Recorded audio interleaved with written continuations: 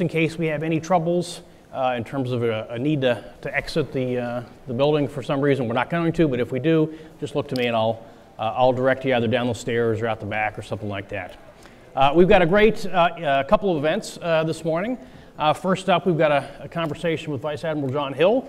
everybody here knows who he is, the director of the Missile Defense Agency. he's taken over that post in June.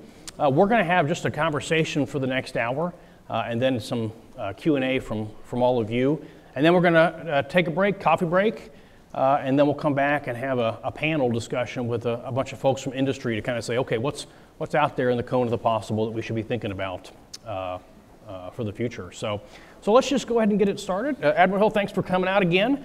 Um, uh, this is a, a, as you like to say, this is a big inflection point for the missile defense enterprise. I wonder if you might just sort of give us some, at the big picture level, what's changed and what is changing uh, that affects your whole mission set and the agency. Okay. Well, great. Uh, thank Tom. Uh, good morning. Uh, always great to be here at CSIS. I was commenting as we walked in that it's always such a diverse uh, audience, uh, different backgrounds, and I, and I, just think it's great. And it's always just good kind of just getting out of the normal uh, doldrums of what you do day in and day out. Um, as you mentioned, um, missile defense really is at an inflection point, and it's really driven by threat. Uh, you know, when you, when you look at uh, our history and, and really kind of my background, um, threat will drive what we do. And so when you, I was reading, reading a great article the other day by George Friedman from Geopolitical Futures, and he kind of uh, simplified, uh, he kind of talked about how things sort of started ballistically, right? So when you think about uh, shooting a bullet, mine is ballistic, or a ballistic missile is ballistic, and his point was that in general, it depends on how good the football player is, right, if he's going to hit his target. And, uh, and in general, because of the inaccuracy of ballistic shots, you tend to either change your warhead type to have a more lethal blast radius, or you go down some other path, or you shoot a lot of them, right? In our world, we, we, we call that raid. Now, we responded to that uh, through missile defense, ballistic missile defense, uh, with precision. Well, we came back to a hit to kill solution um, although the enemy was just firing a lot to deal with his inaccuracies. Uh, what we're finding as we move into the future is almost a uh, different view, and where George Friedman takes it is, is down the path of precision guided munitions as the way that you, you know, up your game from something as an, you know, from an inaccurate uh, ballistic missile. And what we're seeing the adversaries do is all of the above, right? It's, it's precision guidance, it is maneuvers, it's just unpredictability, right? Ballistic threats, very predictable. Uh, the future ballistic threats, not so predictable. Hypersonic threats, not predictable. And uh, when you get into cruise missiles, uh, you know, for my Navy friends I see sitting around, you know, the unpredictability of a maneuvering cruise missile low on the deck is very challenging. It challenges your sensor architecture, it challenges your fire control, and it challenges the methods by which you engage. So I, I do believe that uh, we are at an inflection point in how we're going to defend not only the homeland, but our four deployed forces and our friends and allies. And uh, we have to think differently. And so it's, uh, it's, it's interesting to me. Uh, I had an old um, mentor of mine many years ago say, well, you know, Jon, there's always the right time for the right officer. And uh, she recently uh, told me, hey, you're, you're the right guy for today. And, um, and when I look, peer into the future, uh, I recognize that it's, it's time to, to adjust and uh, be ready for the future. And the other big uh, piece is the threat, and we're talking about different actors, Russia and China. That's a Absolutely. big, big difference. Right. And uh, so if you go back and look at our charter, right, we've always been focused on the North Korean threat, focused on a growing Iranian threat. Um, I think as you move into these other threat spaces, now you're talking about different adversaries. And so that's an inflection point and change for the Missile Defense Agency too. Good. All right, we got a lot to cover. Yep. Uh, I thought we might just start with uh, uh, Homeland Defense, uh, kind of what's going on with the GMD program and the Next Generation Interceptor, how we got here, your thoughts on all that. Yeah, um, so GMD, as uh, many of you might know, uh, you know, started roughly 15 years ago. We put it in the ground. It's, uh, it's, it's time to kind of recognize the fact that the nation recognizing that defense is an important imperative. You could have chosen all those years ago to not defend, say that the threat is just too hard. Uh, but the nation stood up and said we're going to move very quickly to deploy capability and have a deterrent, right? So defense in itself is a deterrent. Uh, defense certainly buys you time, and we've had 15 years of, of a capability uh, stationed primarily up in uh, Fort Greely with associated sensor architecture and globally deployed uh, fire control that I think has been very successful. Uh, whenever the time is right, uh, Tom, I'd love to show the the most recent flight test from the March timeframe now, to kind of give you a good. sense of that. Yeah, yeah. Well, why don't we do that? Just since it's in the morning, maybe you haven't had your coffee yet. And uh, so we'll show that as a start uh, and as a preamble to kind of get that, uh, that video started. I, I, would say that it, it was uh, years in the making because of the complexity of what we were doing. Uh, an intercontinental ballistic missile class threat, mimicking the architecture that many of you will recognize. So radars feeding the fire control system, the discriminating radars providing discrimination, talking to the missiles, firing of two two interceptors, uh, one of the, uh, the most newest uh, interceptors and one of the older ones, just, just to show that we can detect engage, and once we've engaged the primary object, that we can very quickly figure that out through kill assessment and move to the next uh, lethal object. And that's that was really the, the high level view of it. We also want to have ship on uh, ship on station to, to start uh, uh tracking an ICBM threat. So as we go into the uh, the future of testing against those sorts of threats uh, from ships using the SM-3 missile, that we would have that risk reduction in place, as well as other assets where we're pulling data. It was like most tests, you're data rich. You can capture a lot of uh, information to kind of help you uh, with the future where you're going. So we'll um, kick it over to the well, video. I'll tell you what, uh, I'll just ask, ask the folks in the back to pull up the video, please, and we'll, we'll get started. Um, it's probably a, a, slide or two in. Uh, as you mentioned, the, this is the 15th anniversary of, uh, of the initial defensive capability right. back in, uh, I think, the last week of September of 2004. Right. So it's, been, it's been up there for a while now. Yeah. So there it is. So, so there, there, there's, there's the overview there. You'll see the, uh, the ICBM launch from the lower left. You see a TPY-2 out on Wake Island mimicking a, a, radar that would be somewhere in the Pacific. You have the uh, sea-based X-band radar, the big golf ball as we call it. You see the ship out there. You see two missiles coming in. We launched uh, from, from Vandenberg, again, the newest configuration and one of the older configurations. Um, you see Aegis Ashore uh, reposited uh, out of uh, PMRF, and you'll see some other air assets and space assets in play. So this was uh, the opportunity to work across multiple time zones, multiple ranges, having every asset uh, that we had to collect the data and to demonstrate and pull down data to show that we can do fire control quality data across the board. So we'll pop the video whenever you're ready. I think you might have to advance to the next slide for that. Yeah, I think they're working on it. March 25, 2019, the Missile Defense Agency, or MDA, conducted an historic test of the nation's homeland missile defenses over the Pacific Ocean. This was the first test involving the launch of two interceptors, and it resulted in the intercept of a long-range ballistic missile target with countermeasures. Following their release from the missile in space, missile defense countermeasures are intended to trick the missile defense system into missing the lethal object. From the Marshall Islands in the Pacific to the coast of California, across more than 4,800 miles, MDA deployed two powerful radars, one on Wake Island and the other in the Pacific Ocean. The two interceptors were ready in silos at Vandenberg Air Force Base in California and they carried kill vehicles designed to collide with the target. Once launched from the Kwajalein Atoll, the target missile rocketed towards space, heading east in the direction of the United States. Following detection by satellites using infrared sensors, the forward-based radar on Wake Island saw the missile and tracked it as it ascended. The radar also saw the countermeasures released by the target and sent this data to the command and control, battle management, and communication system the brains of the missile defense system. This information on the target was then passed to the fire control stations in Colorado Springs and in Fort Greely, Alaska, which then sent the information to the sea-based X-band radar stationed in the Pacific Ocean. The SBX radar picked up the target as it flew through space and collected additional and more precise information to send back to the fire control stations in the United States. Once the data was received by the warfighters operating the system, they fired the first, or lead, interceptor. Less than a minute later, they launched the second, or trail, interceptor. Accelerating into space, the interceptors burned through their first two stages, and the third stage of each interceptor propelled the kill vehicles towards the target. After receiving additional data from the radars, the two kill vehicles used their sensors to find the objects within the target cluster. They then maneuvered, with the lead kill vehicle zeroing in on and colliding with the primary target, obliterating it. The trailing kill vehicle was able to see through the intercept flash and debris to hit what the system determined to be the second most lethal object, also destroying it through the force of impact. This historic test provided the warfighter with increased confidence in the operation of America's homeland missile defenses, which stand ready around the clock to protect the country from long range missile attack. Okay. So, cool. right. Yeah, there, there you go. So you mentioned a, a bunch of sensors in that test. Yeah. Uh, airborne, space-based. What's what's the significance of having all those sensors? And I don't know if this was the most number in a test ever. Um, what's the significance of that for kind of contributing to operational uh, realism going forward?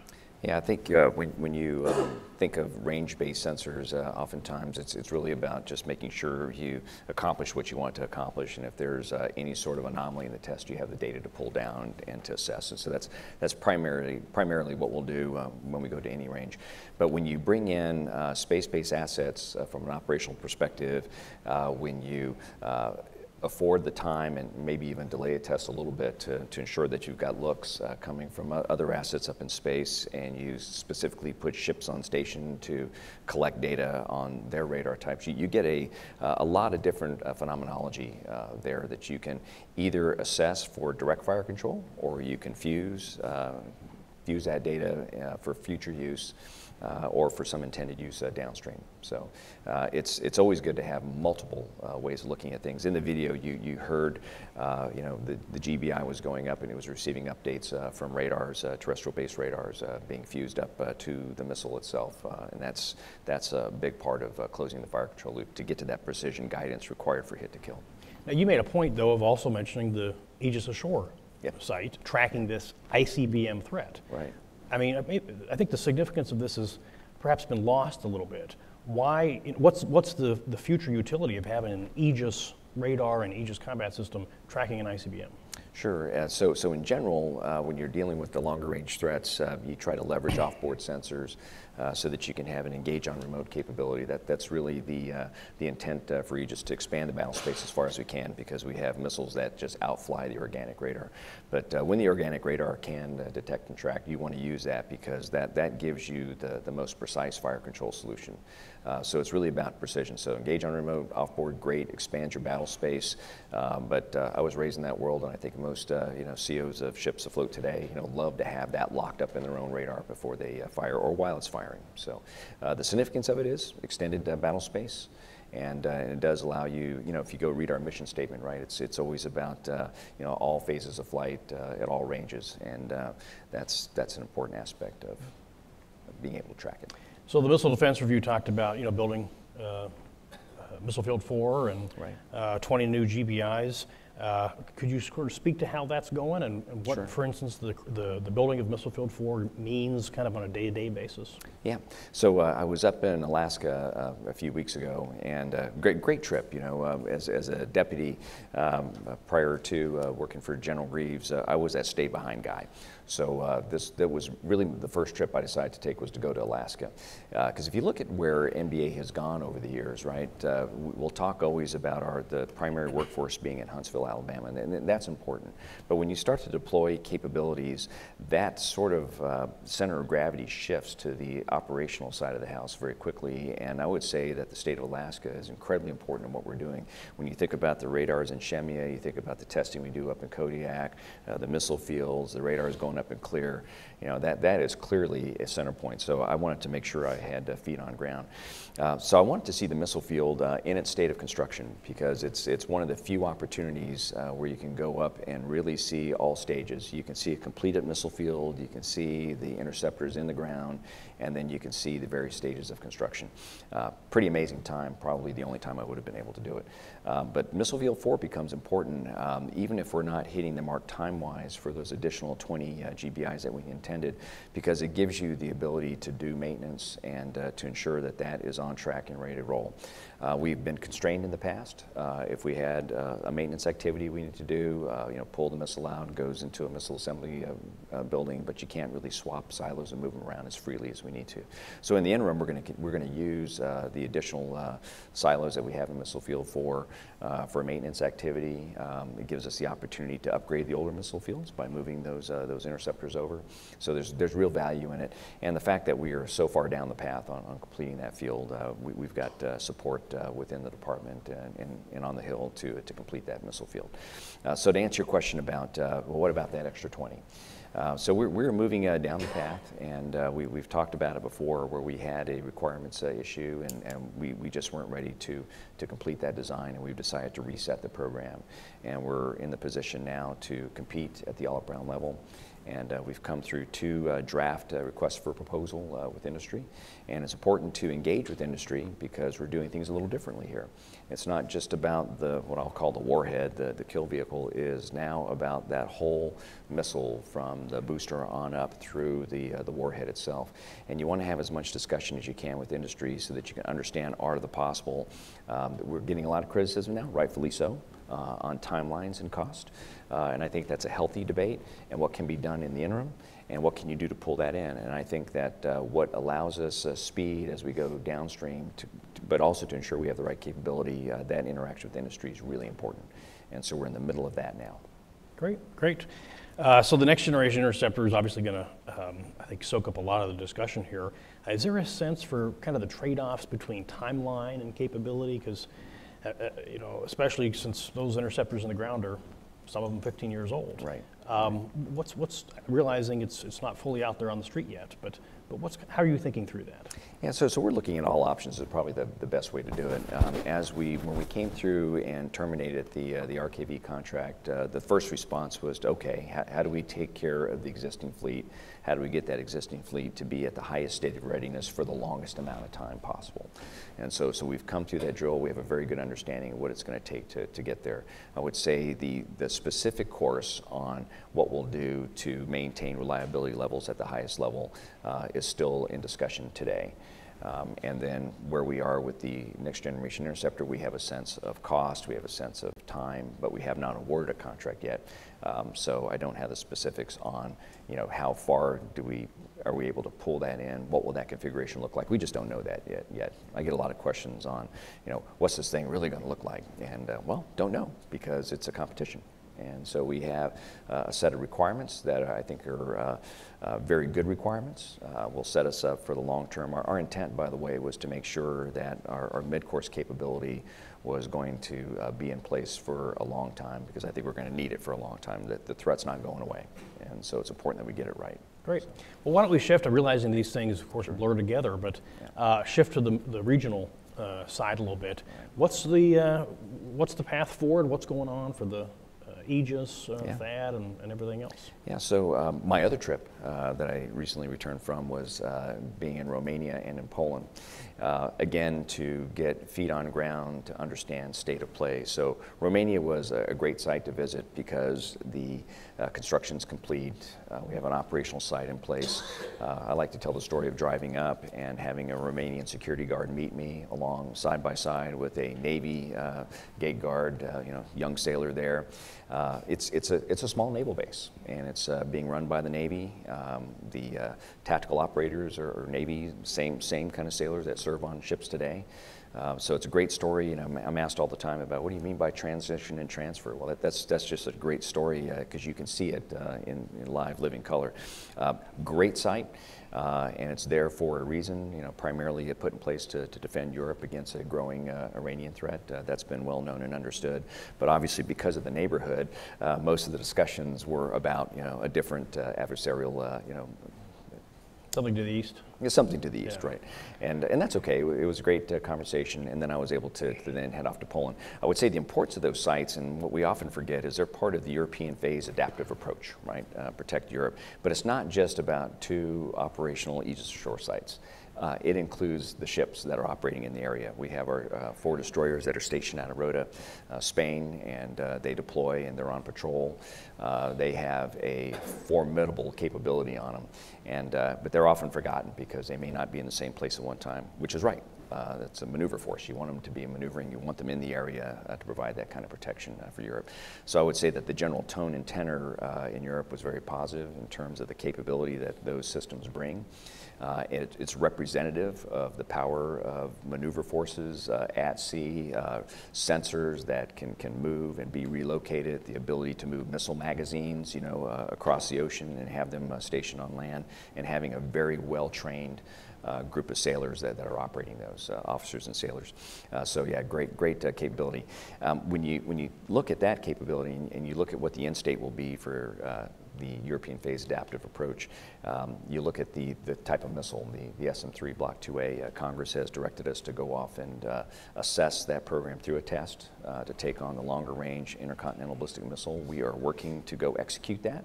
Uh, next year. Uh, the pacing item has always been the target, um, so because that wasn't originally in the plan. And so we are on path to build and execute that.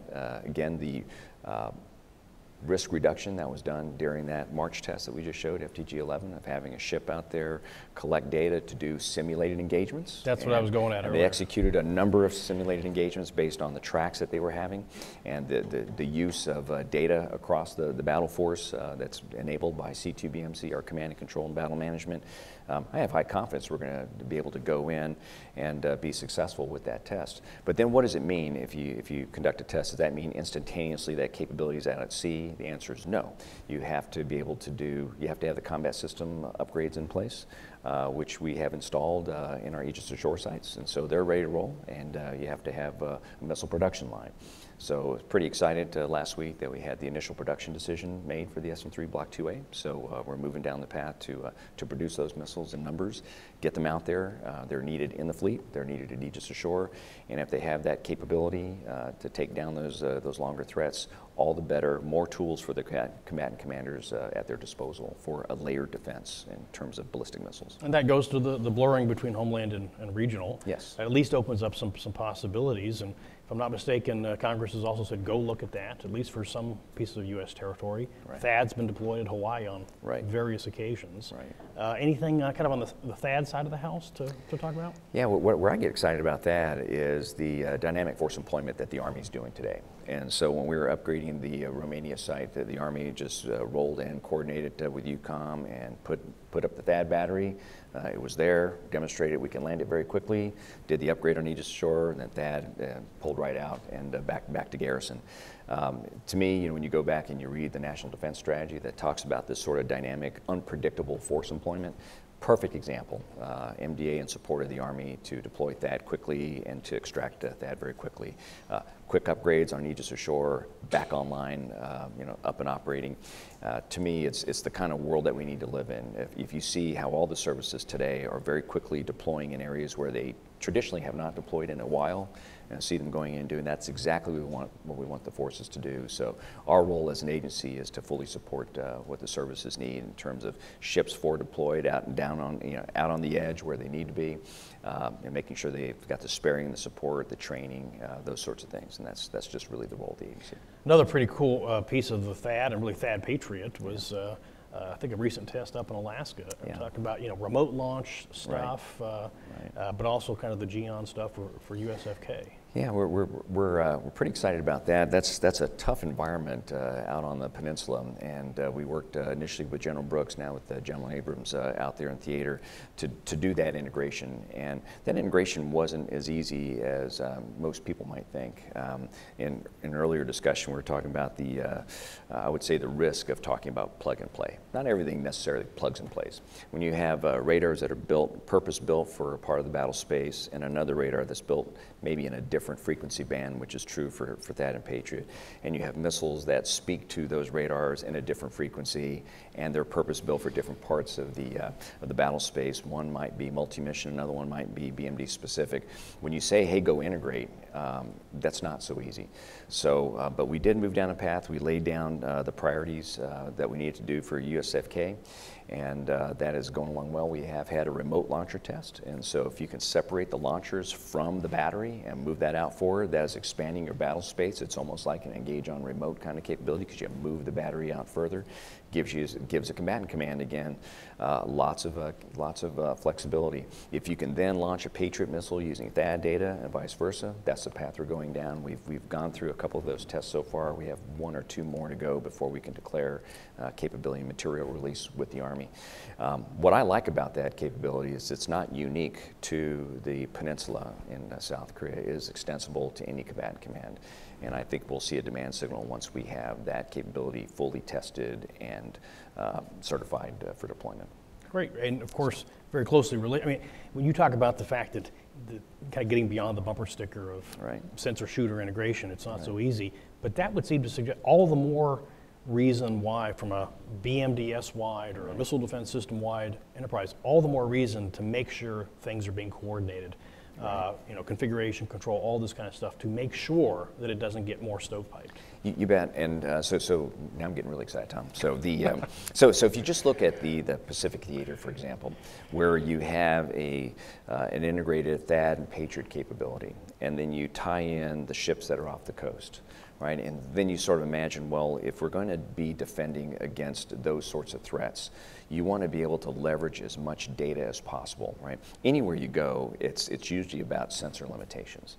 So if you have some sort of missile defense event happening, uh, we're not going to be out there by ourselves. There will be ships off the coast. You want to have that data into C2BMC that you can feed to the THAAD and Patriot batteries.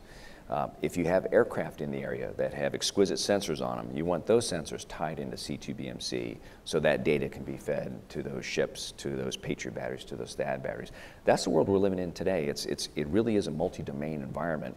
And doing things like integrating THAAD and Patriot and bringing them into the same uh, link architecture with Aegis ships and then having them tied into the same sensors that are tied into the Homeland Defense, uh, ground-based mid-course defense fire control system, you now have a multi-domain environment where you're leveraging everything, whether it's unmanned air vehicles or it's aircraft, and I think it really does provide a problem set and changes the calculus for the adversary. And so we're moving down that road very aggressively, and I think that is part of our future. Uh, it is not something we're going to complete and put on the shelf. It is part of the future.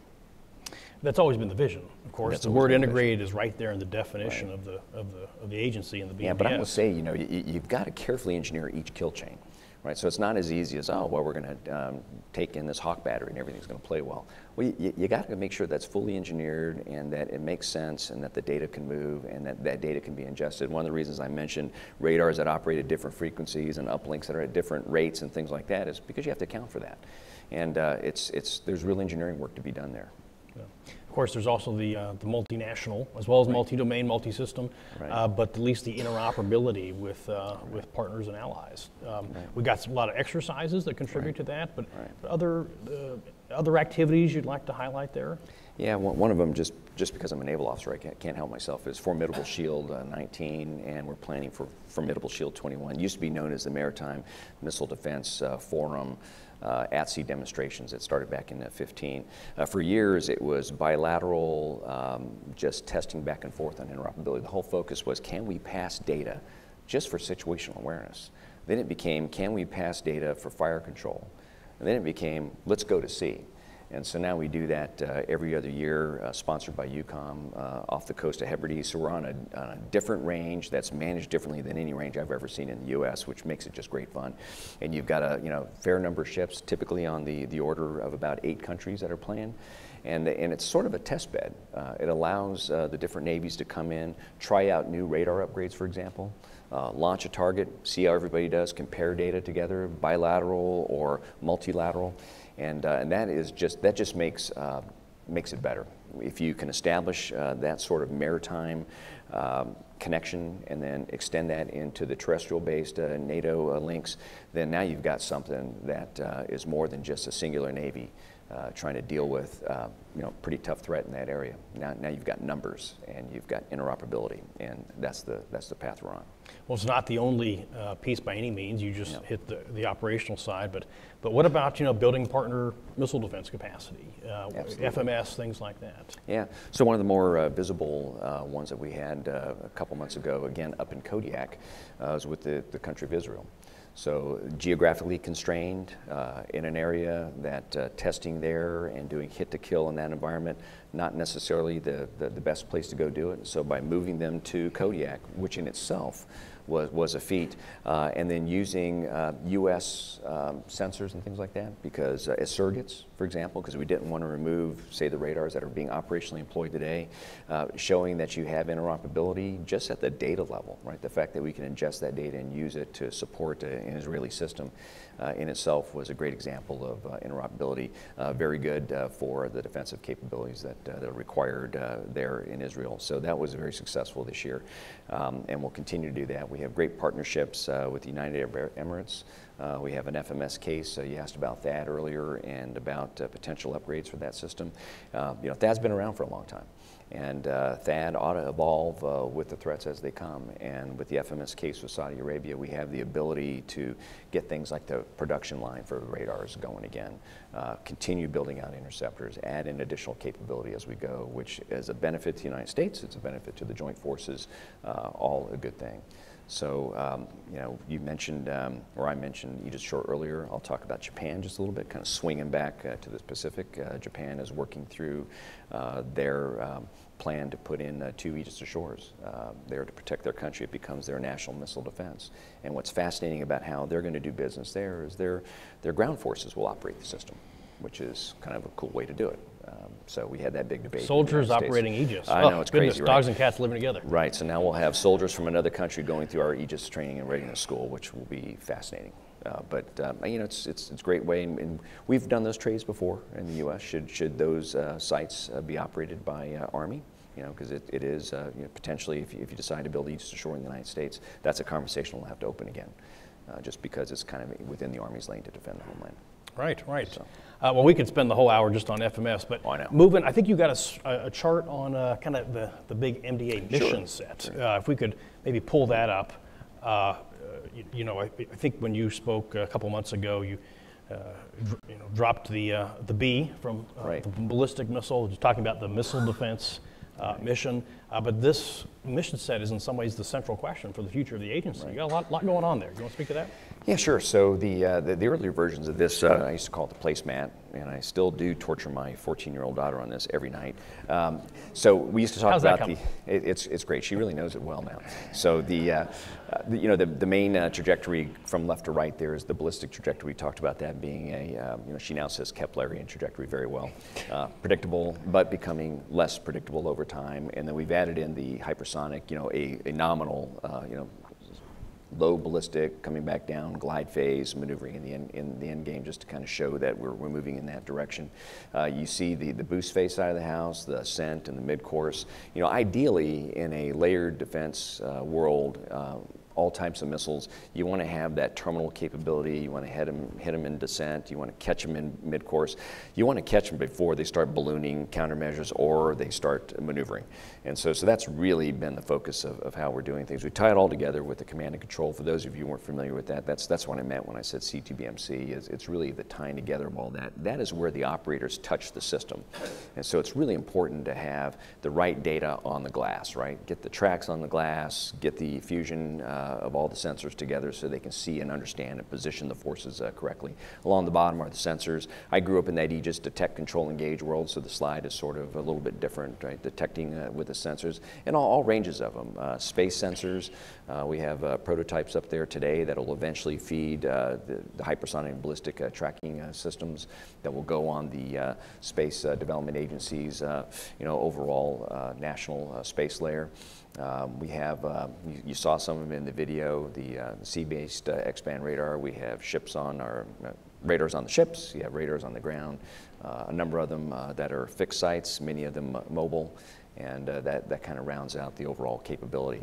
Uh, so it's, uh, it's a great architecture, and I think it's an extensible architecture, and you can move things, move, move things in, move things out, and have a multi-domain uh, piece as you start to take on a broader and broader threat set. And of course, uh, you know, by my count, Congress has uh, begun to put hypersonic defense. You're the executive agent for that. Right. Uh, you know, integration, tech authority. Uh, somebody's going to take on the cruise missile defense mission. Uh, this is a lot of new missions, and they're different, right? Right. They're, they're, they're all different um, in a lot of ways, uh, but they're, they, they can be very similar, right? And uh, unfortunately, the similarity tends to be in the end game, right? Where, where you might eat something, right? And so, so we don't necessarily uh, like that a whole lot. Uh, but your sensor architecture matters, and it, uh, it tends to be different. Uh, for these types of threats. So ballistic uh, sensors are different from might, what might look like uh, you know, a maneuvering hypersonic or cruise missile that's down low. So you have to account for that. And we have to make investments. Uh, we've been saying it for a while within the Missile Defense Agency. Uh, we have great uh, support within the department. We've got to be in space to deal with the unpredictable nature of how these threats are starting to go, and they're becoming more global. It's no longer such a regional focus. It is, it is global. And so having space capability, the ability to fuse that data, get it down to an engagement uh, capability, that's, that's really the future. Why don't we move to the, the issue of space? I think there's a, a separate slide on that as well. Uh, I wonder if you might kind of give us an update on where where that is for, for this fiscal year and perhaps the next fiscal year for the HBTSS system. You also got the, the SKA uh, uh, constellation up there right now, but uh, you've talked uh, eloquently many times about the importance of space for this multi-mission. Right. Um, how do you see that proceeding in the next year? Yeah, I think uh, you're going to see a very deliberate uh, stepping out uh, into that area. We, we've talked about it enough. I think we're getting the kind of support uh, that's required within the department and, and on the Hill. So if you can flip the chart, I'm not sure who's doing that. But Yeah, just, just go to the next uh, slide. There. And we'll, we'll kind of go past the, the mission. We can pop back to that if we One must, more. I think one more forward. Yeah, there, there it is. A little, little bit hard to read. This is something we've been crafting lately to kind of tell the story on not only the importance of space, but uh, my emphasis back to the team is not only do you find yourself reliant on space when you deploy a system, but you really do have to engineer for it and plan for it. Um, so, you know, if I mentioned detect, control, engage earlier. You have almost a similar sort of thing, you know, up in the galaxy, right? So you have indications and warning. You've got to get to a system that gets you to the tracking uh, sort of quality data so you can get to fire control. And then you always want to assess uh, whether or not you hit. And that's, uh, you mentioned the space-based uh, kill assessment, which we have deployed today. Uh, we did that a couple years ago. We're, we're on orbit now. Uh, every test that we've had since we got them on orbit, we are, we are testing that capability. We'll continue to integrate that, you know, that phenomenology with what we're getting from terrestrial and, and air-based uh, sensors, and that'll become a more robust capability. And that one on, on the end state, on the far right of the equation, is important because it does allow the combatant commanders and the warfighter to adjust their salvo policy if they know that they've had a very successful uh, first hit. And so off to the left, indications and warning, then it's, uh, it's tracking uh, throughout, and it kind of, again, depends on what your threat space is. And so something called hypersonic ballistic, uh, ballistic missile uh, tracking uh, sensors will feed into the national sensor layer that the uh, Space Development Agency will, will, deploy. Um, so it all kind of comes together and, um, you know, takes you from initial detection all the way to end game and, and kill, which, which is important because we're just sort of out of islands for landing radars. And so there's a big uh, lot of water out there that we, uh, we just can't cover. So the H and the B, the hypersonic and the ballistic uh, letters that uh, HBTSS acronym point to its multi-mission uh, yes. Uh, character, and of course also the, the blending of That's these right. missions. Um, are there big impediments on the on the science and technology side to getting that space sensor up? What's what's kind of standing between between us and a space sensor layer for this? Yeah, I think the uh, the, the, space uh, sensors are I, I, wouldn't call them a new science. Uh, it's it's an engineering effort. So, and we know that there are lots of different commercial options for, for for getting those capabilities up. I would say the big technical one, and if you just think about it for a second, uh, is just dealing with uh, the the the passing of track data between different space vehicles and maintaining track and dealing with clutter, right? So when you're, when you're up high and you're looking down, uh, there, there is uh, clutter mitigation. Now we know how to go do that, uh, and I don't consider that science either. Uh, so it's really about bringing that all together, knowing what your mission space is, and if it is hypersonics, and if you want to take it a step further and say, well, in some cases I can see cruise missiles, well then, you know, you can leverage the sensors to go do that. So I think it's going to be a great capability. Uh, we just need to, to, to, get it up there as soon as we can and uh, rapidly uh, proliferate. Wait you said something right there along the way. It's not just the, the sensor seeing all this stuff, but in a way it's the bandwidth and the ability to move that data around right. in a prompt and reliable way. That's right. That's uh, right. As quickly as possible, it's going to feed into the architecture.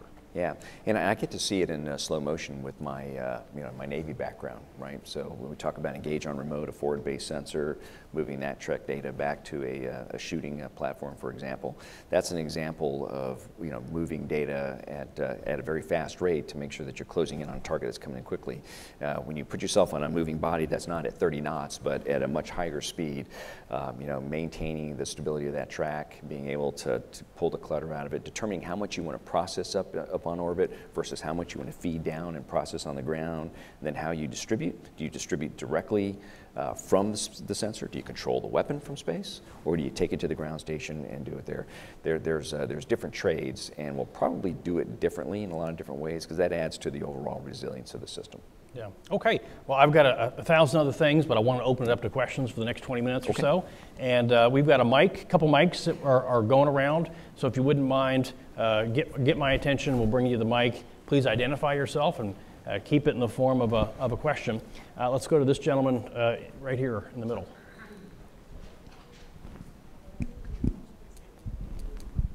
Thank you for my attending question. My name is Sang Min Lee. I'm working for the Radio Free Asia for Korean service. I have a question about North Korean missile threat.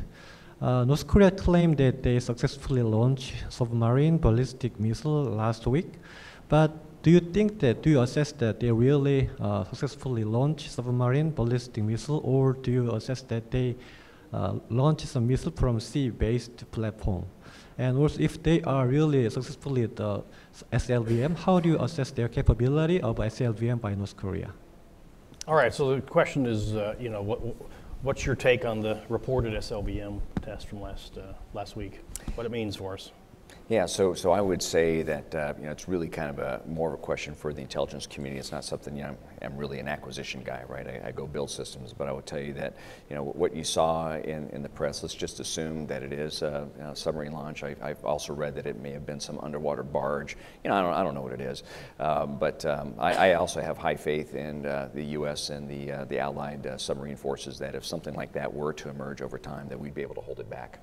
Um, so um, I'm, I'm, less concerned about the platform. Uh, I think it's, but the, the, message to take from that is they are trying lots of different ways to not only launch, but to deliver uh, that kind of capability. And so we need to keep an eye on it uh, and continuing to assess that to make sure the architecture is in place to deal with it. All right, I think we got this gentleman right here. My name is Kevin Smith. Uh, thank you for today. And uh, I wanted to ask you the role of um, automation in this process. Yeah. When something's launched and we got to shoot it out of the sky, that all happens very quickly. And so, what's kind of the role of um, yeah, what, which processes can be automated? What's the role of artificial intelligence, to the extent you can speak about it? Yeah, it's um, you almost can't swing a dead cat without hitting someone with AI printed on their forehead. Um, it, it, it's an important part of the future and it's an important part of now. And I would say that if you look back 15, 20 years in a lot of our weapon systems, you see um, artificial intelligence there, you know, where, where it was in that time in its evolution. It doesn't relieve you of the responsibility of properly engineering the fire control loop, right? So your ability to speed it up and take human error out of the loop uh, is, is good and it's important. And I think you're right uh, with the kind of speeds that we're dealing with today, the kind of reaction time that we have to have today, there's no other answer other than to leverage artificial intelligence. But again, it doesn't relieve you from the responsibility of doing the full fire control engineering. Um, you just got to uh, figure out where's the right place for uh, artificial intelligence. If you look at a lot of the systems today that run in automatic or in semi-automatic or in manual, that's sort of Aegis. the early, that, that's the early view of artificial intelligence. And so uh, if the, the problem we're trying to solve really is pretty much always reaction time. So what can you do to speed up reaction time? But uh, the balance there is how often do you and must you have an operator in the loop, just given the rules of engagement. So can't, can't forget that. Okay. All right. I think we've got this gentleman up in the front waiting here. It's coming. Thank you. I'm uh, Dongyeon Kim from Voice America Korean Service. I have a question uh, regarding the GSOMIA. Uh, these, uh, with uh, South Korea uh, deciding not to uh, extend the GSOMIA with Japan, how, how does that affect the missile defense operation in, in the over, overall perspective? And the second is, you said about integration of data. How, but like unlike Japan, South Korea is not integrated with the missile defense. What is your concern on that? Aspect. Thank you. I didn't quite catch. Well, well we've got our, our, bilateral relation with both Korea and Japan. Right. The question is whether the GSOMIA, you know, uh, suspension will affect that, or if we aren't actually still in a good place with our information sharing with all our allies. Yeah, so, so obviously uh, you want as much uh, free exchange. You know, if, if you get down to the data perspective, uh, let's just say you're sharing sensor data, you want to have as much unfettered, uh, you know, sharing as possible so that you can leverage the whole force. Uh, can you operate in a world to where there's a bilateral between the U.S., Japan, and the U.S. and uh, the ROK? You could do that. it's not optimal. Um, so yes, I would love to live in a world to where both Japan and South Korea can come through their differences and we can, you know, open up the the data to to openly share with them. But there are obviously ways to work around it. The capabilities in, in the Japanese Navy, for example, for ballistic missile defense, and what's in the uh, Republic of Korea's uh, arsenal uh, from a naval perspective, they're, they're different anyway. Um, so given those differences, there's probably a minor effect today, but once they get on parity, uh, then it becomes a larger issue in terms of data sharing. Good, all right. I think we've got a gentleman right here, and then we'll go back. Drake Avila, Asia Policy Point. Um, in the layered missile defense system, how do later layers react if an earlier layer is compromised? Specifically, if um, satellite capabilities are neutralized, how do land and sea sensors adjust, and how is their efficiency impaired? Thank you. Yeah, so, so we, uh, we war game that a lot, and, uh, and I would say that uh, the systems are built to always assume that they have the direct attack coming on them, right? So if you're a Patriot battery in a, in a layered architecture, you're going to always assume that there's either a leaker or everything's coming at you and that you have to try it all. Right, so uh, we really build it from the opposite direction from the way you described it. So if you have Patriot, well then we're going to have THAAD, we're going to have Aegis, we're going to have GMD, depending on what that uh, sense of layering uh, looks like.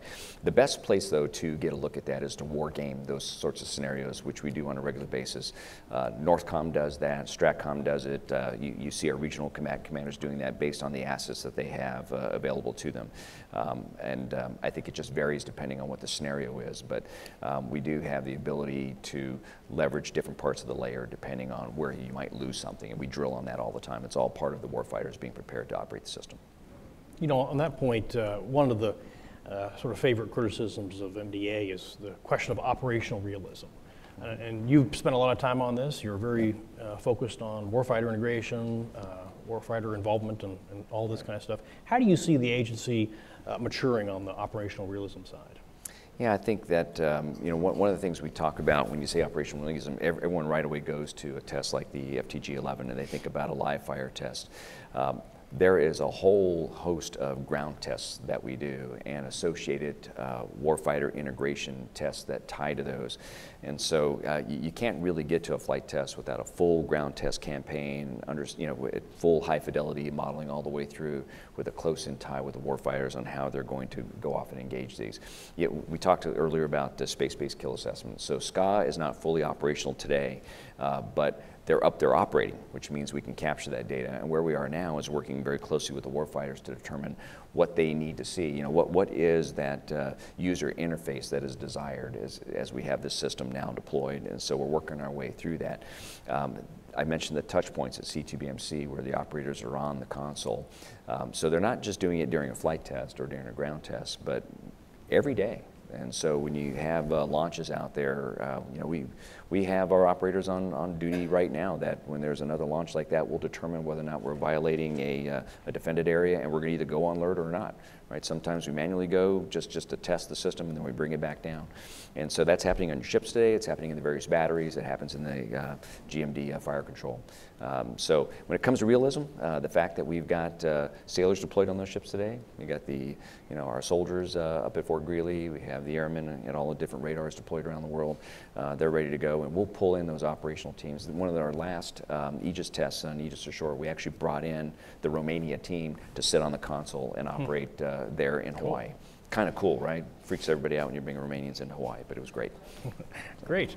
All right, we got a question right here.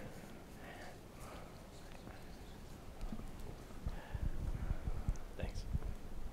Good morning, sir. John Vaughn from uh, Raytheon Company, Warren Tom. Uh, sir, can you speak at all to the uh, MDR response for THAAD fire units uh, number required, and then also uh, progress you're making on the program transfer with the Army? Oh boy, uh, uh, I got to hold them back. Yeah. Talk yeah. about transfer. Yeah. Okay. So uh, I think he asked about uh, the uh, missile defense reviews uh, task for the Army to determine numbers of batteries, and then I think he asked about transfer.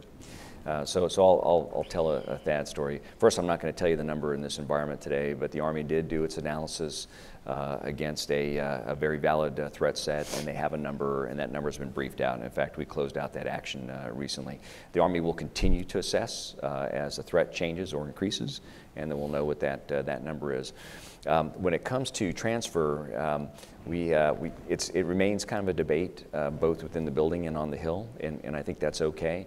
Um, as a, a, new director, you know, four months sitting in the chair, having stared at this a lot and had lots of debates with prior directors about whether or not uh, we need to transfer or not, I, I kind of drew my own conclusion, uh, which irritated a few people on the Hill recently. Uh, how can you say this? The last two directors have said that. I'm like, well, because I've taken a harder look at it. And for me, it fundamentally comes down to what does it mean to transfer? right? So when we say transfer, everyone's got a different definition.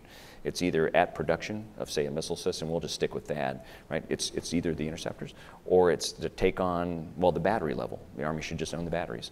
Or the Army should own the associated radars. Those are the TPY-2s that are not only part of terminal mode, but a part of the Homeland Defense architecture. So when we start having those kind of conversations, I immediately go back and say, let's define transfer the way it should be defined, which is operations and sustainment with a cost share with the agency to provide sustainment support.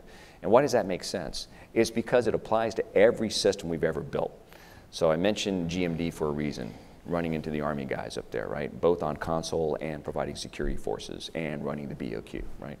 Uh, go to Clear, airmen up there operating the radar. I mean, that's an operations and sustainment role that the services do very well to include getting the manning in place. The Army for THAAD, they've manned up the batteries. They have the eighth battery manned, for example, right? We're just equipment poor right now. Um, so I think we have a very successful story if you define transfer correctly. If you muck around with the definition for whatever the agenda is, then the story goes haywire and it doesn't apply to all systems. But all systems, when you define lead service as operating and sustaining and the agency providing the right sustainment support, is the right answer. The debate I'd like to have is, are we doing the right things as an agency to provide the right logistics, the right training, and I'll just use my Aegis story. Am I doing enough to ensure A sub O on an Aegis ship is at the highest level it can be for the ballistic missile defense mission? Or, or am I being held accountable to that? That's the conversation I want to have, not the conversation of an organizational experiment in this strategic environment. That's the wrong answer. Am I providing the right training to the Aegis Training and Readiness Center? Are there deficits there that we should be addressing and fixing? That's the, that's the conversation I want to have. You know, what does my cost share look like? I can show you that. But should I do an organizational experiment and carve out production of a missile, of a major system like that, that we need to continue to, to keep steady? And I mentioned dynamic force employment with the Army. Why would we do an organizational experiment in this environment today? Um, I'd rather talk about sparing the soldiers have what they need to operate the system. Does that answer it? I was getting a little too excited there. Sorry about that. Chris Shank is smiling. Well, it's funny, it's really only talked about for, for TP, TP2, THAAD, and SM, not GMD, as you emphasize. Uh, but this really suggests, again, back to the mission set, uh, you could have unintended consequences by carving things off rather than having everything more You fully sure could, yeah. And I think about the USFK JEON uh, work that's happening out uh, in the ROK and its extensibility to other theaters. I think about the Saudi case, uh, major FMS case, you know, it took a decade to pull that together. Why would you muck with that? You know, that's going to allow us to get the production lines back up, uh, lower the cost of interceptors going to the U.S. forces. Why would we mess with that? Uh, and it's, it's really, um, it's, it's just playing around with the definition that is well understood. Great, great. All right, who else? Right here in the, in the front.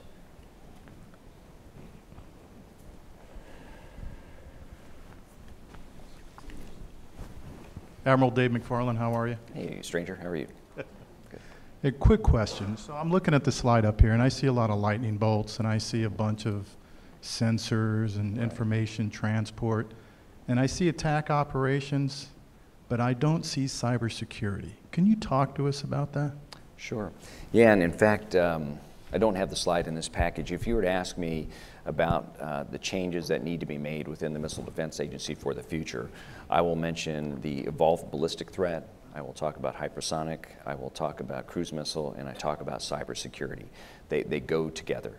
And so, how do you organize for that? Right, something that cuts across everything. And so, I've had some great discussions with Dr. Crossweight from DOT&E about uh, do I need a functional code for cybersecurity. It's embedded in all the programs today. You can go look at our, our budget exhibits and you can see it across all the programs. But is it coordinated at the level that it needs to be coordinated for warfighting, right? Um, can you get by with a, a Napoleon's corporal, is what uh, Dr. Crossway calls it, where you have someone that's on direct report from me that kind of keeps his, his, hands and eyes on what the different uh, parts of the agency are doing. And it's a big, big problem, as you know, uh, whether it's your administrative networks or it's the operational networks, or if it's you know within the fire control loop on a ship someplace. It's, it's a big issue. And so so we do need to get our arms around it and organize for it. I, I would say that we're, we're not task-based organized on it today, not task organized to, to execute that as a warfighting capability, and that's, that's where I want to take the agency over the next few months. So it's not the same as cyber, but sometimes they're, they're put together. But electronic attack and Yeah. the whole electromagnetic spectrum. Right. I don't think we've kind of brought up directed energy much perhaps That's right. could kind of speak to the EMS, but also Sure. different kinds of directed energy in your portfolio. Yeah, in some ways, when I when I show the prior chart, I do that on purpose, just to irritate people, because it's clearly a kinetic chart, right? And it's clearly missile on missile, um, and there's because that's what we can talk about in this environment. A lot of the things that you just mentioned, you know, reside reside elsewhere, and so can't have a robust discussion there. I would say that what we're doing for directed energy is taking a holistic department uh, look within uh, MDA. Our the work that we do in laser scaling, for example, is tapped into Dr. Tom Karr, who's the head for directed energy up on the R&E staff, into an overall DoD roadmap. And I think it's important to, to pool resources and work together on that because it is a very enabling technology that we need, not only for warfighting, you can use it for sensing, you, can use it for a lot of different things. And so we're, we're, we're clutched in on a DoD uh, roadmap, and that's where our investments. I think two years ago, I would have come in here and talked to you about very high power levels operating at very high altitudes. We, we've kind of just stepped away from that and said, let's pull the resources uh, across the department to get to higher power levels and get to smaller space and weight because everyone needs it. It's not just the Missile Defense Agency. If something we're working on today within the agency um, goes to a service and not used in the missile defense mission, I'm okay with that. Okay, good. We got another. All right, let's do in the back.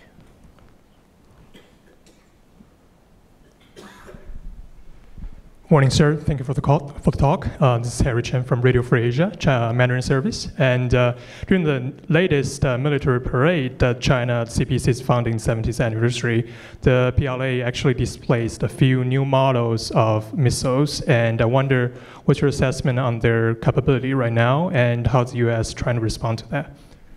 Thank you. Yeah, so um, I always think parades are fun. Uh, but but, but I, I do I do leave it to the intelligence agency to kind of assess uh, what we have there. Um, I, I really don't have a lot of commentary other than uh, you know, hey, happy se- 70th anniversary, and uh, it's the 15th anniversary of GMD. All right.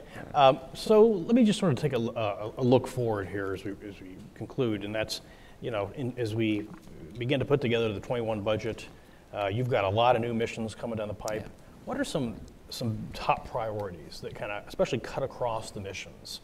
You spoke uh, very nicely about kind of the the specific role of the Missile Defense Agency in this larger ecosystem, and kind of some ways to think about the the, uh, the enterprise and, and transfer and all that. But, but what are the big priorities, your priorities, for moving forward to, to tackle all of these things?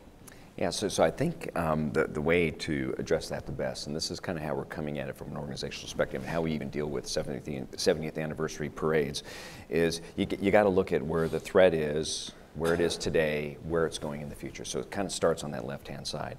And then you have to take a look at the pointy end is what do the warfighters need? And when I think about the numbers of threats and where they're going, and I look at what the warfighters need, to me it's about the multi-domain uh, act, right? It's unusual for most programs to kind of work beyond their scope, but I think we're nuts if we don't right? So if we don't open up the spigot for C2, BMC, our command and control battle management to bring in air breathing threats, for example, that could help the Navy do its mission. If we don't leverage a radar that is on an island that can also look up and do space situational awareness and get that data to who could use it, or have the radar look down for surface tracks on the ocean and pass that to the Navy, we are missing an opportunity. And in general, you don't have to do a lot of new requirements onto those assets. You can just leverage the inherent capability that they've got. And so for me, it's about exploring the capability of the systems that are out there to kind of push them to the edge. We talked about SM3 it was not designed to go against an ICBM, but there's some inherent capability there that we see in our modeling. So why not go explore that and go do a flight test? Someone earlier mentioned uh, THAAD's uh, capacity to maybe do that. Also not designed against that threat, but may have capability there in some unique circumstances. And so if you understand where all those capabilities and limitations are across the system, whether it's a sensor or a fire control, how it can tie in and support all the services and even non-DoD uh, partners in terms of sensing and the kind of data that you have, I think uh, we're moving in the direction that we need to move into. So that, that's probably my, my broad answer, uh, Tom. And uh, I, I can go down to Well, let- let me level. just take another level, and that is, you know, Sure. the relative trade-offs between uh, procurement, sustainment, and R and D, Yeah. true R and D within the uh, within the agencies. As these new missions come online, is going to have to be a, a little bit of a, a shift there.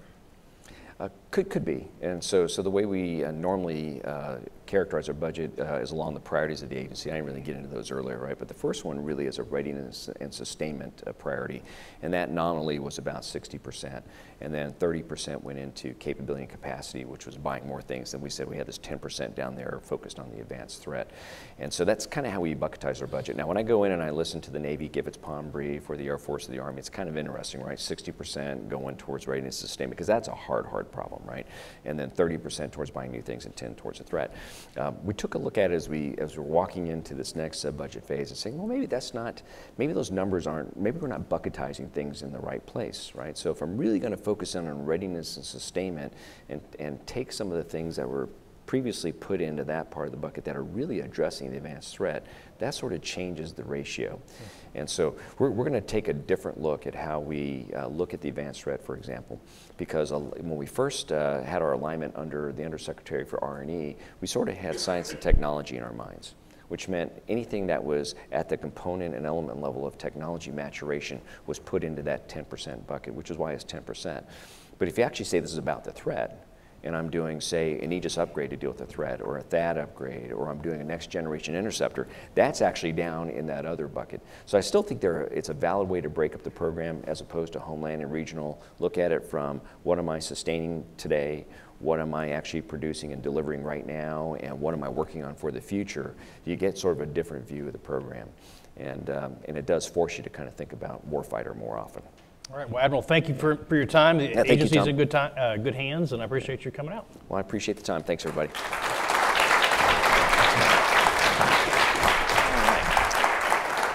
So we're going to take a, a quick 10 minute break, coffee break outside, and then we'll come back for our next panel.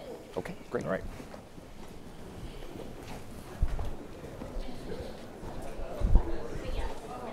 All right.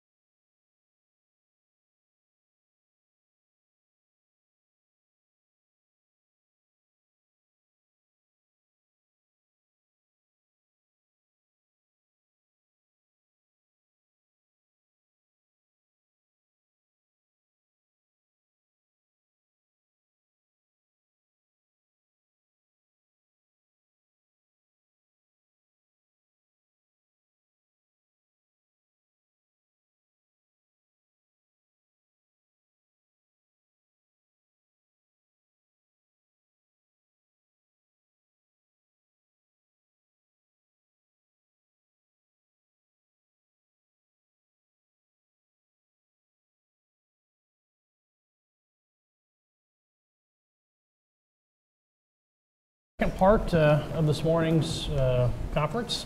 Again, I'm Tom Karako. Uh, we had a good conversation with uh, Admiral Hill this morning, kind of talking about his vision and intent. And one thing we've been wanting to do for a while is to uh, put together a, uh, a, panel of industry to kind of talk about what's, what's out there, what we should be thinking about, what challenges and opportunities should be considered for the, for the whole missile defense, for the growing missile defense enterprise. And so we've got uh, a good representation here uh, of, of, different uh, perspectives. And so we've got to my immediate left uh, uh, Paul Smith, uh, who's the Vice President and Program Director for the GMD pro program at, at, Boeing, where he's been for about 17 years. To his left is Sarah Reeves, who's the Vice President of Missile Defense Programs at Lockheed Martin Space out in Sunnyvale. next up is uh, retired uh, Brigadier General Ken Todorov, who's the Vice President of Missile Defense Solutions for Northrop, Northrop Grumman Corporation. And then uh, Mitch Stevison, Dr. Mitch Stevison, uh, who is the uh, Vice President for Raytheon Missile Systems uh, at in Tucson, Arizona. And then finally, John Schumacher, who is the Senior Vice President for Washington Operations here in Washington for Aerojet Rocketdyne. So why don't we go in the, the order provided or the order you all are sitting in, uh, starting with you, Paul, and talk a little bit about uh, uh Boeing's perspective, GMD, and uh, how you kind of see uh, what Admiral Hill talked about and the opportunities for, for all that that you, Sure. Got. Thanks, Tom. I guess a bit of a tactical mistake sitting directly to your left here to get started, but that's, that's all right. Thanks for the opportunity to come out and talk about opportunities and challenges in the area of the future of missile defense. Obviously, very important topic right now. There's a, a, tremendous amount going on. I suspect that about half of you in the audience are engineers, and engineers love to talk about technologies and where we're headed in that regard. Kind of tough to do that in an open forum, so I thought uh, what I would uh, focus on a little bit more, and I hope our discussion today can focus on, are some of the challenges uh, that we perceive going forward uh, for uh, missile defense. I would throw out uh, just a couple that, that I think are important and that I hope we can talk about today. One would be the sort of dynamic between the need for agility and what everyone's uh, taken to calling speed of relevance and uh, risk tolerance on programs, particularly our development uh, programs, and how we balance uh, the tolerance between those two. And I think that would be an important discussion. The other would be deciding between uh, the fundamental approaches we use to bring new capability on board, an evolutionary or a spiral type approach versus a uh, leap forward sort of silver bullet type approach. And I think those are uh, topics that we should engage in a, a, bit today. I'm sure there are others, but those would be two that, that uh, come to mind for me. Uh, in terms of my thinking about those, there are a few precepts that I think should apply to uh, how we approach the future of, uh, of uh, missile defense. I think first, um, in my mind, there's sort of no silver bullet that's going to be able to take care of everything. And, and I think that's pretty obvious with respect to the threat. It's multi-domain, it's dynamic, it's ever evolving. And we're living in an age of, of, absolute tremendous technology development and explosion. And I think the ability for technology to disrupt both uh, our thought process from a defensive, defensive posture and the adversary's thought process from a defensive uh, posture are so great that they would argue that we need to, uh, uh to uh, develop a little, uh, test a little, field a little, and move forward. A second uh, precept that I think is important is that uh, I, we should be building strength on strength. Uh, if you look back at the history of the, of the, Missile Defense Agency and some of the stellar programs that have really come of age now, programs like THAAD and Patriot, uh, the Aegis program, where we now know that a, developed capability uh, that uh, the tremendous intelligence and, and passion of men and women of this nation, nation have made happen are, are out there now. They're trustable, they're deployable, they're extensible. I would argue that uh, the ground-based mid-course defense program, uh, based on the last four flight tests, and particularly flight test 11, uh, have uh, demonstrated that that system now uh, is a re reliable and extensible system. And we should be building strength on those strengths. How can we continue to innovate around those capabilities and extend them uh, as opposed to fundamentally starting over with systems? So I think that's a, that's a key point. I'm much more of an advocate in sort of uh, weapon system integration innovation than I am necessarily uh, with a, uh, a full-on uh, leap forward uh, complete change to a program. I think also we need to be taking a very disciplined approach to uh, development in the agency and, and, and in industry. So often we, we see that next shiny object and we think that that's great, let's, let's get that in the system.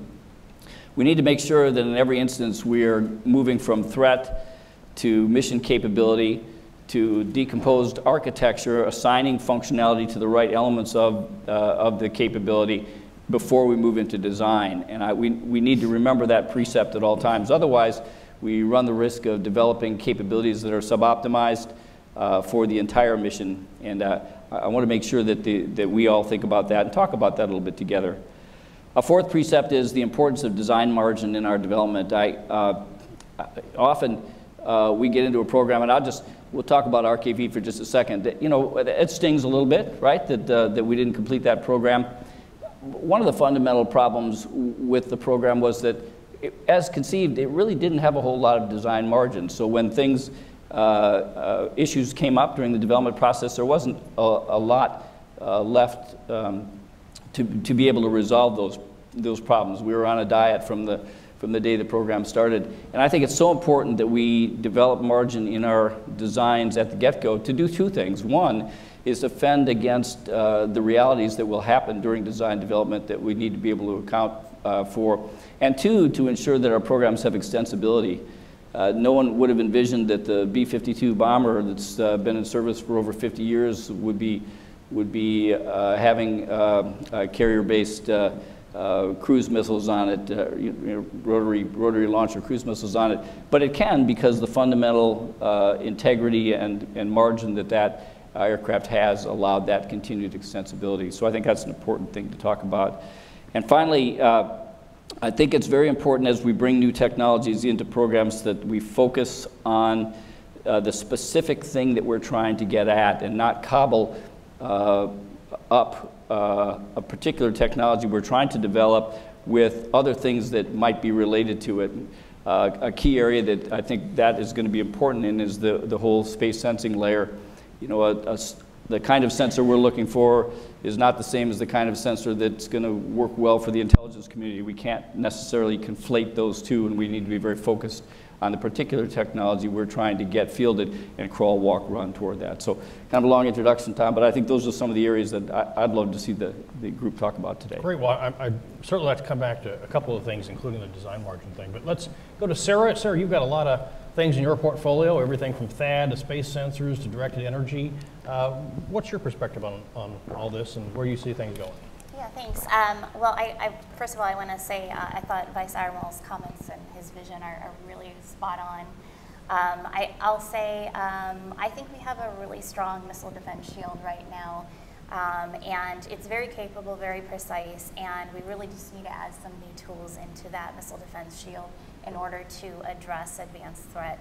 So, um, in particular, I think there are three things that we really need to focus on, and and uh, Vice Admiral Hill spoke about that today. One, the first is we really need a space layer that's going to handle the advanced threat. He talked about the difference between ballistic threat trajectories and, and the um, advanced threats and their unpredictability. So in particular, we have to have a very integrated space layer that allows us to keep track custody and, and deliver that information to the shooters.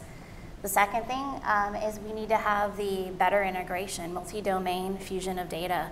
Uh, so C2BMC uh, was referenced as well. Uh, tremendously capable system today uh, and very good uh, capability to evolve that to the future.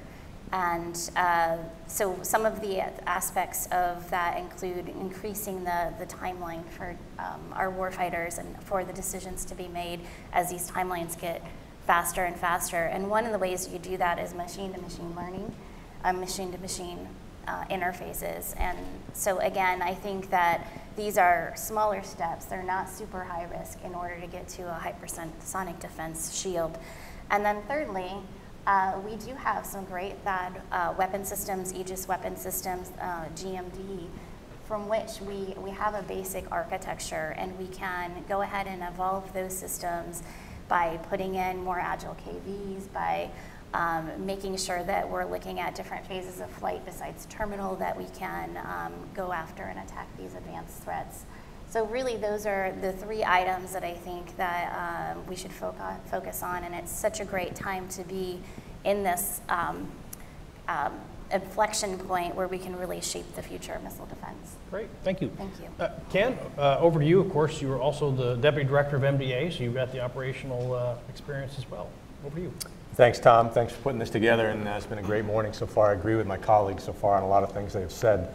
I think the biggest challenge for us in this industry or this enterprise going forward is just the sheer nature of the way the threat has changed. And I just like to call it diversity of the threat.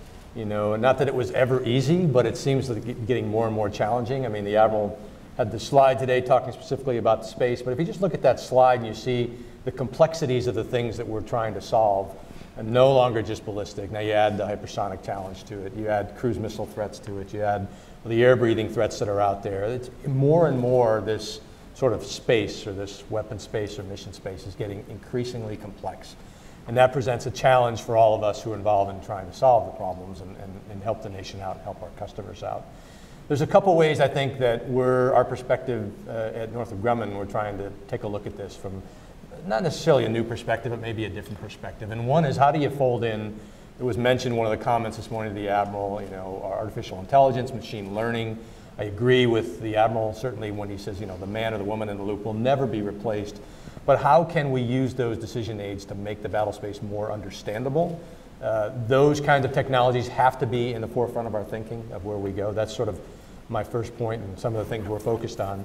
The second is how do we fold digital into this equation? You know, digital systems that are maybe, it's, it's always going to be about the hardware, but how does the software define that hardware that enables the capability? And so I think that's increasingly important as we see this battle space and the complexity of that space change. You have to design and develop systems that are adaptable and changeable to the future. So that goes away from maybe how we used to do things back in the day where there was these long lead times and you set a requirements and you design and you build toward a capability. Now, once, you know, if you, if you were to go with that sort of construct, once you feel the capability, it's almost, I don't want to say obsolete, but I dare say it's, it's certainly not going to be as responsive as we need to, given the way that threat is adapting. So how do we have digital facing systems that can change? How does uh, software and the development of software uh, come into play here? Certainly, again, going to always be about the hardware, but, but thinking about the software certainly at the, at the, at the get-go I think is very important. And then the third point I just raise is sort of the level of cooperation between us and our organizations, not only us on the stage, but all of industry uh, and away from proprietary and stovepipe kinds of things. I think there has to be uh, somehow we have to break through those barriers and, and, our willingness to work more closely together on things is going to be increasingly important. No one of our organizations has the ability to solve it all. I think we're stronger together. We got to figure out ways to do that better and more efficiently and um, work with our customer and the government as well, open up that dialogue. So those are kind of the three things that I kind of wanted to touch on today and I look forward to the discussion. All right.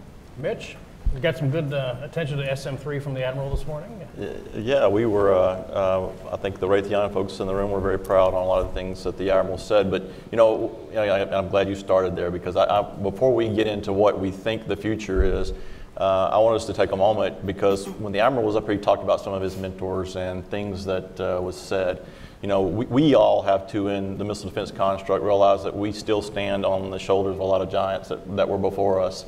Uh, this evolution that has been created uh, very successfully, you heard Paul and and the, the other uh, folks up here talk about those things that have been created that we're building upon now. We can't forget that legacy that we've had. Although, I think, you know, from a Raytheon perspective, you know, number one, Ken very well par- uh, pointed out partnership is an important part of what we're looking at for the future. We, we know we can't do everything. We believe we have some key components. Uh, we're very proud of what SM3 has been able to do. We just celebrated the 400th delivery of an SM3, uh, which is a remarkable feat that I don't believe anybody 10 years ago would have believed we would be achieving today. Uh, foundationally, Standard Missile is a 60 year old franchise for Raytheon, and the evolution of that system, you heard the Admiral talk a little bit about SM 6 and the capabilities that exist inherently inside of the evolution of that missile, uh, has presented a lot of uh, opportunities for us to do things uh, that we never believed that we could do before. But, but foundationally, from a Raytheon standpoint, um, you know, we agree with what Paul articulated the RKV story very, very well. Uh, but we learned a lot from that. I think Paul and the team will agree that we all learned a lot. It, it stings, it still stings, but foundationally, we're better off than we were before. But I would say for any new program coming, this is a risk that we all have to be aware of. For any new program coming, If more requirements, if we're going to do a 10-year new program, any new requirements that come in, we run the risk of, uh, of being up against our requirements that we can't meet if we don't understand right off the bat what the threat is likely to do in the next 10 years, which is a hard thing to gauge. Uh, but, but again, we want to look at aggregation, innovation, uh, and, and ultimately uh, in integration uh, in what we're doing. You know, so there's a lot inherent in the system now that we got to look at that we now consider to be almost separate parts of the system that we got to figure out how to aggregate together. We talked a little bit this morning about the fact that should we be talking about regional and, and homeland in separate uh, venues, uh, or should we be looking at those more as a closed venue? So that aggregation is an important part of what we need to look at as a team. You know, secondly, the innovation part of what uh, we all are very capable of doing and we've all been able to bring to the game. We've got to continue to do that. The threat is moving very, very quickly, and it's not any longer about being paced by the threat. The threat is pacing us, and that's not a place that we want to be. We, gotta, we got to be in a position to innovate, to leapfrog the threat and uh, get back ahead of them. And then finally, the, the integration piece. So when I say the integration piece, it's not necessarily system integration that I'm talking about. There is many breakthrough technologies that we are now discovering that we have to be agile enough to get integrated into the system to be able to do that leapfrog effort uh, in, uh, in the context that I just spoke about. So, so really from a Raytheon perspective, we really are trying to focus on ag aggregating what we have now, uh, working with our partners, again, that's key to doing that. And you see some successes there that the Admiral talked about this morning. Uh, secondly, to innovate, and then lastly, to integrate the technologies that we see evolving on our side. All right, lots there. I'm going to pull a couple of those threads later, but I'm going to let uh, John go up first. Aerojet. So, thanks, Tom, and uh, thank you for putting this together. I would just share, first off, it's great for Aerojet, who's really a supplier to all the primes, the leaders of the primes that are sitting here. Great privilege for us to get to be on this panel, so thank you for that. Um, and the perils of being last, I agree with everything everyone said. I was going to say a few of them. So um, what I'd focus on, though, is really what uh, Admiral Hill touched on about inflection point, uh, which Sarah mentioned, but also um, the design, looking at the design, taking a fresh look at design as we go across.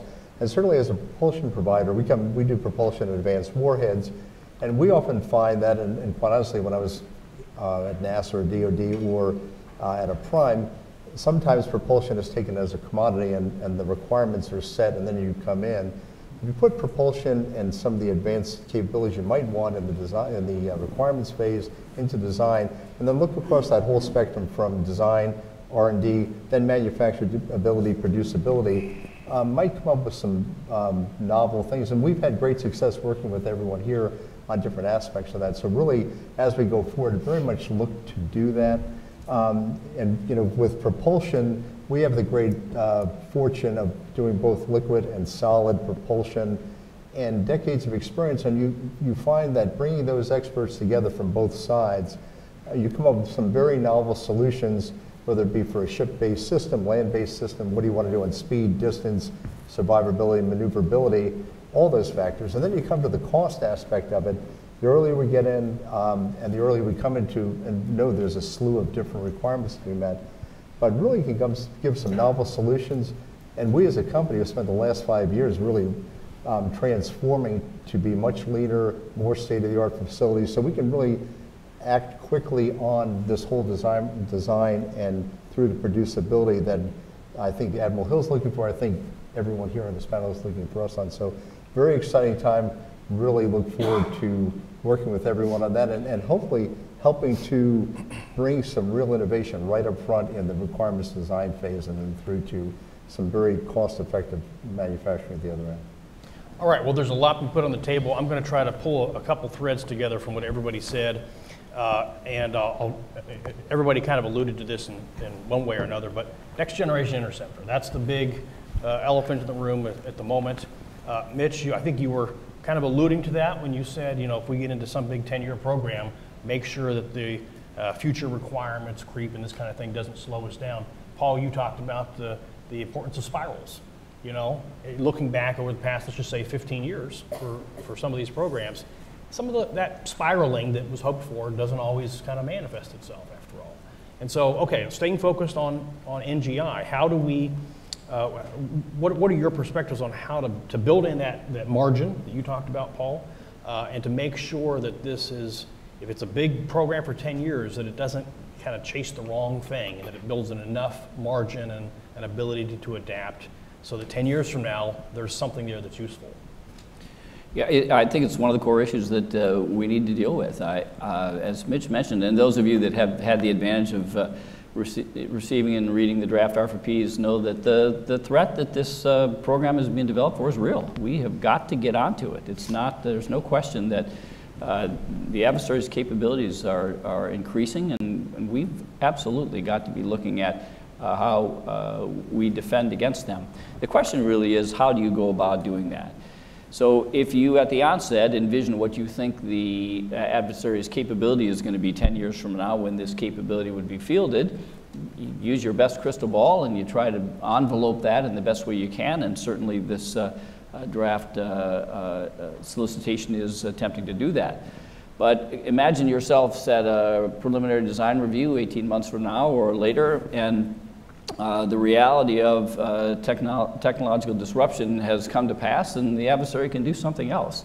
Are we, in fact, going to then sort of restart? Uh, and does the 10 year uh, horizon become a 12 year horizon? That, that's one of the dynamics I think you have to be concerned with. So, the idea in my mind is that we need to be looking at advancing the technologies that are going to be necessary to defeat that advancing threat and then infusing those as they become uh, relevant and available as opposed to trying to solve the whole thing in one, in one fell swoop. And I think that's a, that's a difficult uh, dynamic, but it's, it's what we're faced with. Yeah, I mean, I, Paul, uh, you know, he, he, said it very well. I, I, I, one of my biggest fears, it, it, you have to start defining a requirement by, you know, looking at where we were 10 years ago. There was no real hypersonic threat that we were fearful of. Um, the cruise missile capabilities were rudimentary compared to what they are now. Um, you know, we were, we were looking at expansion of the ballistic threat with countermeasures and other things of that nature. And now here we are 10 years later, and we're dealing with a totally different missile defense construct. A totally different uh, construct. If we believe uh, as the experts tell us, that technology is moving exponentially. And we are, you know, as Paul said, 50% of us are probably engineers, and so we can do the math. Um, what makes us think that in 10 years from now, the requirements today are going to even marginally encapsulate what the threat's going to be capable of doing? With that, we have to have an agile program at the very beginning. I, am not saying this is not the right program. I want you to understand, you know, what I'm trying to convey here. We have to go at this program with agility in mind to understand that there may be a need, or maybe even pre-planned points of decisions where we deploy a capability uh, earlier. Th that kind of innovative thought process in an acquisition program um, is one that's going to be tough to get through the current uh, acquisition structure. But it really is what this mission demands. And, and I don't have the, the answers. I think all of us up here on the, on the podium and all of you out there are going to play a big role in this. Uh, but we have to help our customer uh, come to the understanding that some defined 10 year program is not going to be the reality of what we see.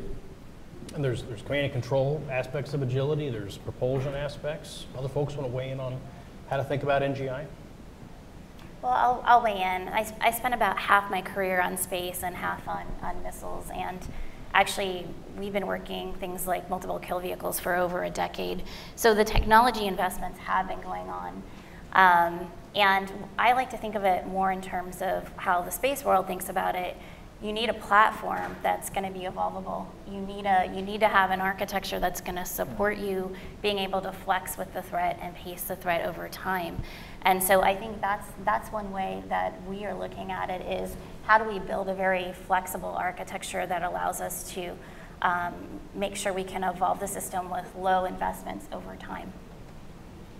I'll jump in on the command and control point because I, I, I, think of it as sort of the orphan stepchild of the BMDS often, oftentimes. I mean, it's, it's sort of a, it's there, it's necessary, but it doesn't get a lot of attention, and I think uh, wrongly so. And I was had, glad to hear the Admiral earlier talk about that as a, we need to maybe focus on the command and control aspect of it because, like everything else, it too is getting more complex as this environment gets more complex. And, and the systems we have in place today are great, but are they good enough or can they just be sort of adapted or something bolted onto them?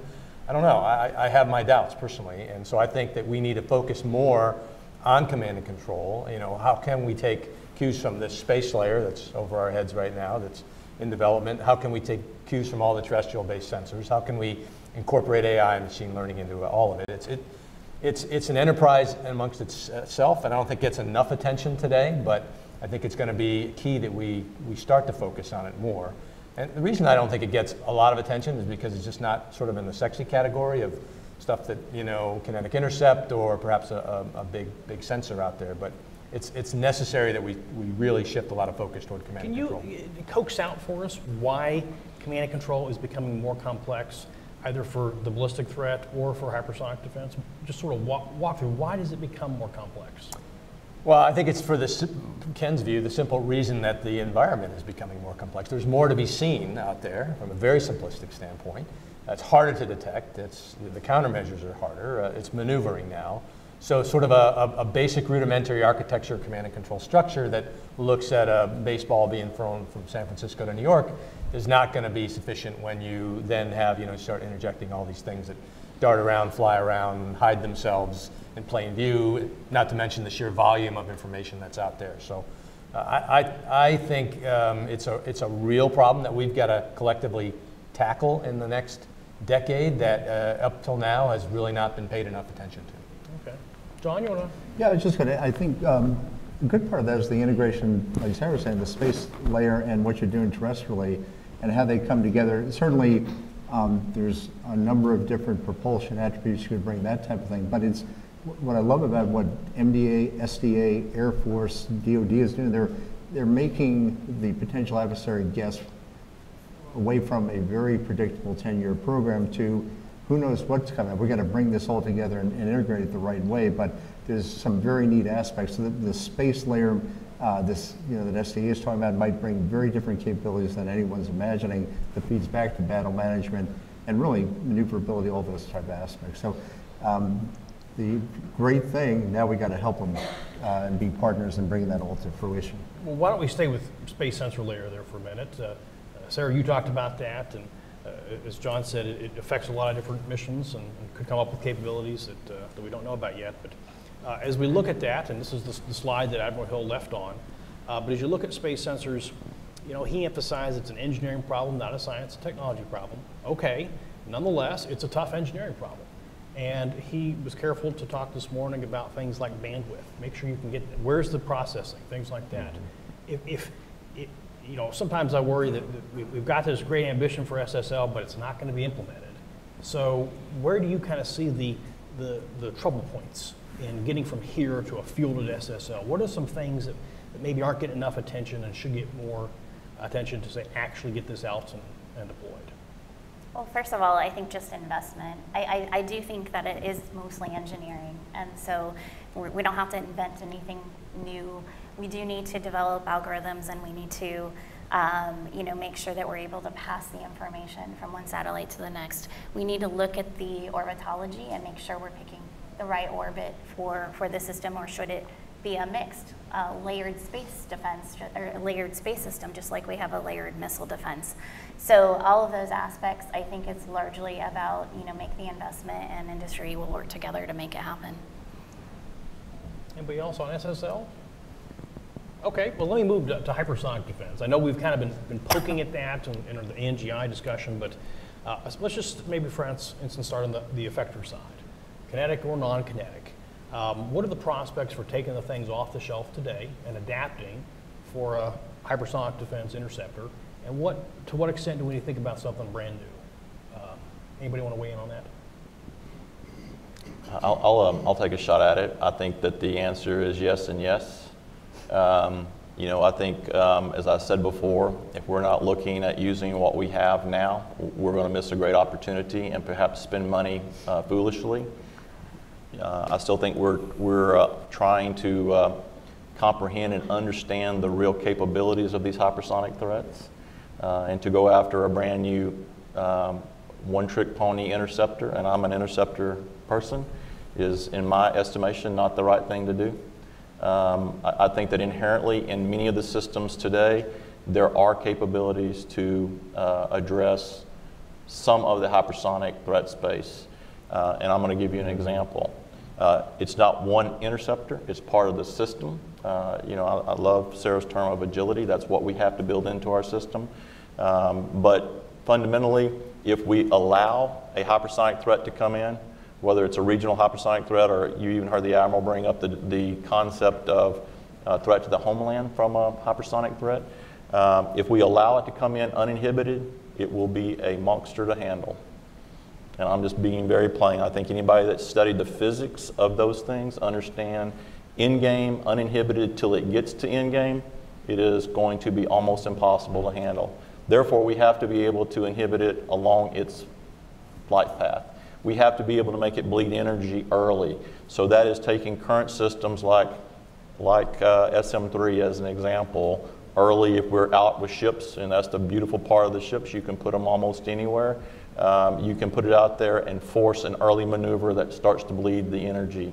Uh, you can use THAAD, you could use SM6, you could use other interceptors that have range to not give it uninhibited approach to any target that it wants to go to. And then if we do that and we bleed the energy, frankly, many of our current terminal interceptors can deal with it. Otherwise, we're in trouble. Now, eventually, are we going to have to go look at some new capability? Yes, that's, that's uh, without a doubt in my mind something we have to go do, and I think probably we all are doing. But, but fundamentally, what I would say is first understand what we have and what we can do now, uh, and then get the full understanding of what the capability can be. And by the way, don't go create a one, um, a, a single trick pony interceptor. That is not what the taxpayer needs to pay for. I agree with Mitch. It's, it's not going to be a one-trick pony, and the answer is yes and yes. Uh, but I do think that, uh, again, to Mitch's point, that ultimately, you know, a glide phase interceptor, a true glide phase interceptor, is going to be a necessity. I know you asked about kinetic, uh, but I think we need to emphasize it needs to be a layered approach. So no one kind of system is ever going to go take this kind of threat down, but it also has to extend beyond kinetics we've got to start to think more about these other electronic attack elements of it. I know directed energy is often been talking about, and you know always five years away. But no kidding, there's I think real breakthroughs uh, that we need to start to employ in directed energy as well. Uh, so a host of things and a layered approach uh, that takes advantage of existing systems and terminal phases, but also starts to think about a glide phase interceptor, true glide phase uh, and a layered approach of a mix of kinetics and non-kinetics, I think is the answer. I guess uh, two elements that I would just add uh, to the conversation, and we've touched on uh, most of these already, but I think there's this idea of uh, integration innovation, and Mitch has touched on it. We need to inventory our current systems. Where do they have some capabilities in this regard? How can we mix and match those in a way that provides us uh, uh, some capability? And then to the extent that we have to develop new platforms, to Sarah's point, we need to ensure that we've developed those with the right margins so they're extensible and can accommodate the new technologies that are being developed and will be developed to take that on. So if we think broadly about uh, integration, innovation, and margin in platforms as we develop them, we'll be better served, uh, however the final answer comes out. Good. Okay, well, let me kind of move to an, another mission, and that's, uh, that's cruise missile defense. Um, and you heard the, uh, Admiral Hill talk about that this morning. Uh, but that includes, of course, both your your subsonic and supersonic, but also these, you know, the other side, the other kind of the hypersonic missile, the scramjet uh, hypersonic cruise missile, which is not the HGV. Um, the Missile Defense Review said go hither, and, and we're going to have to figure that out for the Homeland, uh, Homeland Cruise Missile Defense. Uh, I wonder if you could talk about some of the challenges. That's so different than ballistic missile defense. Uh, some of the challenges that are uh, that are both, as he said, you know, common to the larger enterprise, uh, but also unique uh, separate from hypersonic uh, glide vehicle or ballistics. So what, what ought we to be thinking about? What are some opportunities for homeland cruise missile defense or regional?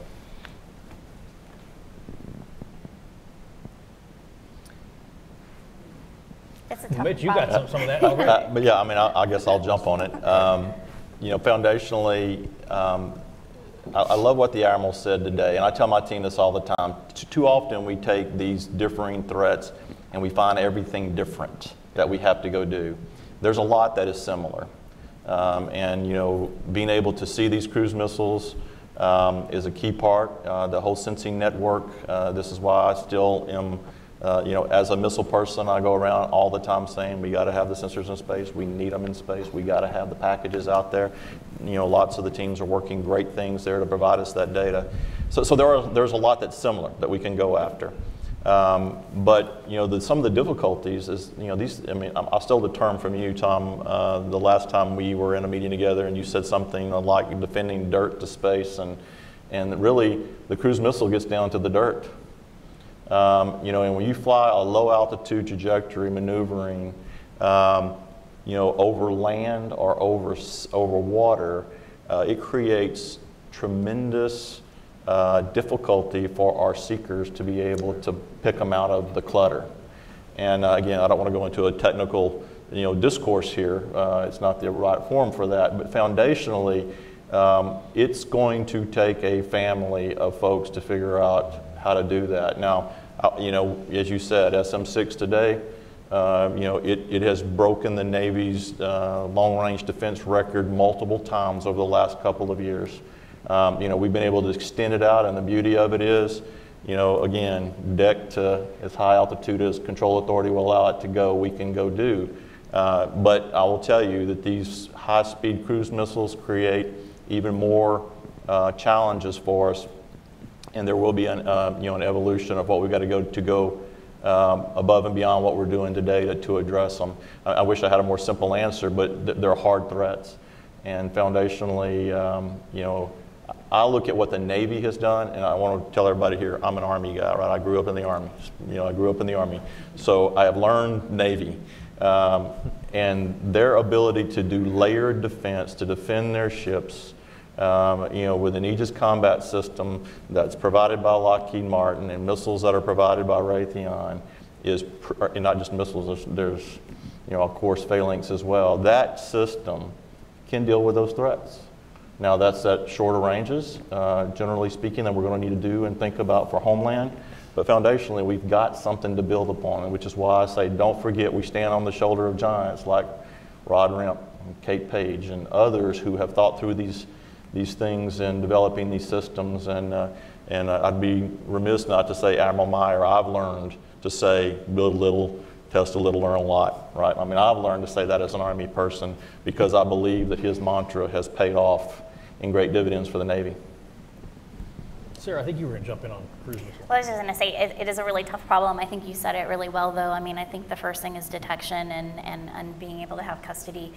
I, I guess uh, the, the thing I'm thinking about for a longer term view is directed energy because of uh, cost exchange ratios with the numbers that they can produce. So that's the other part of the problem and why we need to invest there. And it's not really just um, um, for laser weapon systems in particular, it's not just laser scaling, it's beam control. How do we keep, keep track, um, how do we get the energy on the target and, and um, also the engagement timelines. Good. Well, why don't I open it up for some questions from the audience? I've got a bunch more uh, topics, but I want to give everybody else a, an opportunity to weigh in. Uh, if you want to raise your hand, and we'll, we'll bring a mic uh, around to you. So over here first. And I want to hit the international dimension uh, as well here.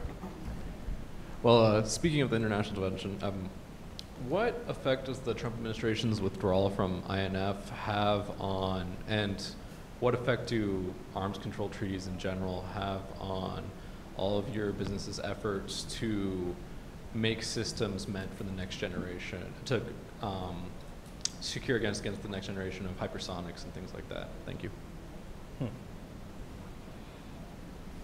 So arms control and hypersonic defense, one thing that occurs to me is, you know, the ability to base things on land that might have multi-mission applications.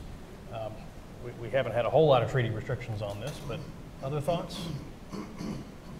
I think it was more of an issue on the current systems that have been developed over, over the years, right? And so um, there were limitations put on, you know, how much power we could have behind our systems, basically, and how much range so now I think that's removed for next generation right now, but it may, may come back into effect. I, think the broader uh, area that we need to think about is why, you know, why did those treaties exist? What were they there for? And, uh, you know, in general, uh, they're there to help avoid destabilization.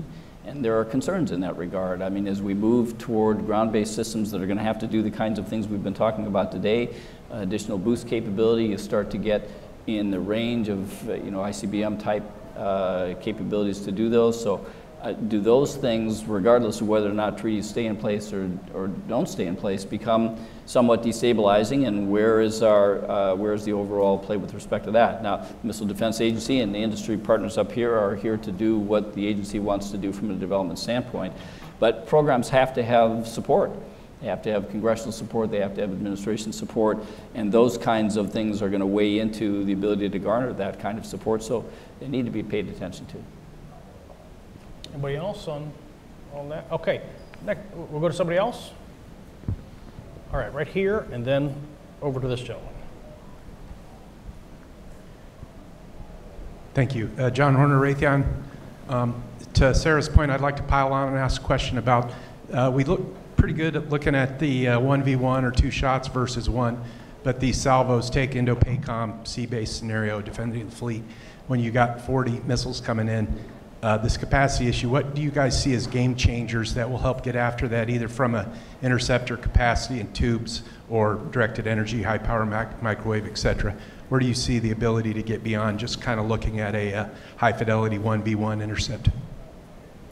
Well, I think, I mean, I think in the past, the, the requirements were set and uh, quite a while ago, and I think that the architecture was very good, and I think you need to have multiple tools in your tool set again, and so for those sort of very complex threats, you need to come up with a more innovative design that's going to get you back in the cost exchange ratio you need to have.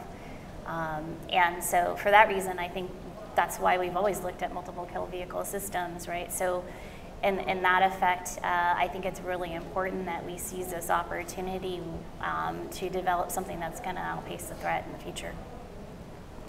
Yeah, I think maybe, um, John, I know you'll appreciate this point. A good, good time just to think about the offense defense mix part of this equation that, um, you know, raid sizes of infinity, uh,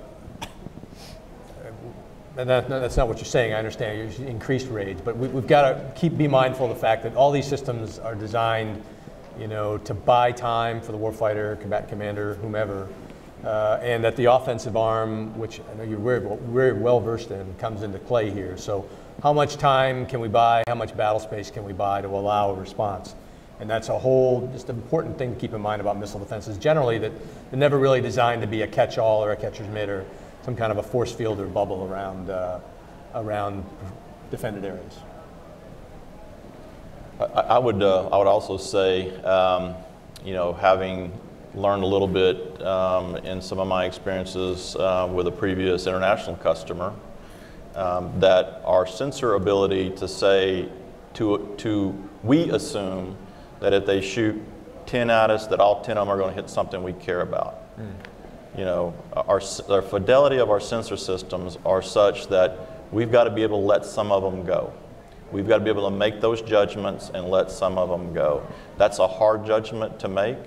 But what we don't want to, particularly on some of these sophisticated threats, which, I mean, quite frankly, we, we, we all look at the hypersonic threat and we go, wow.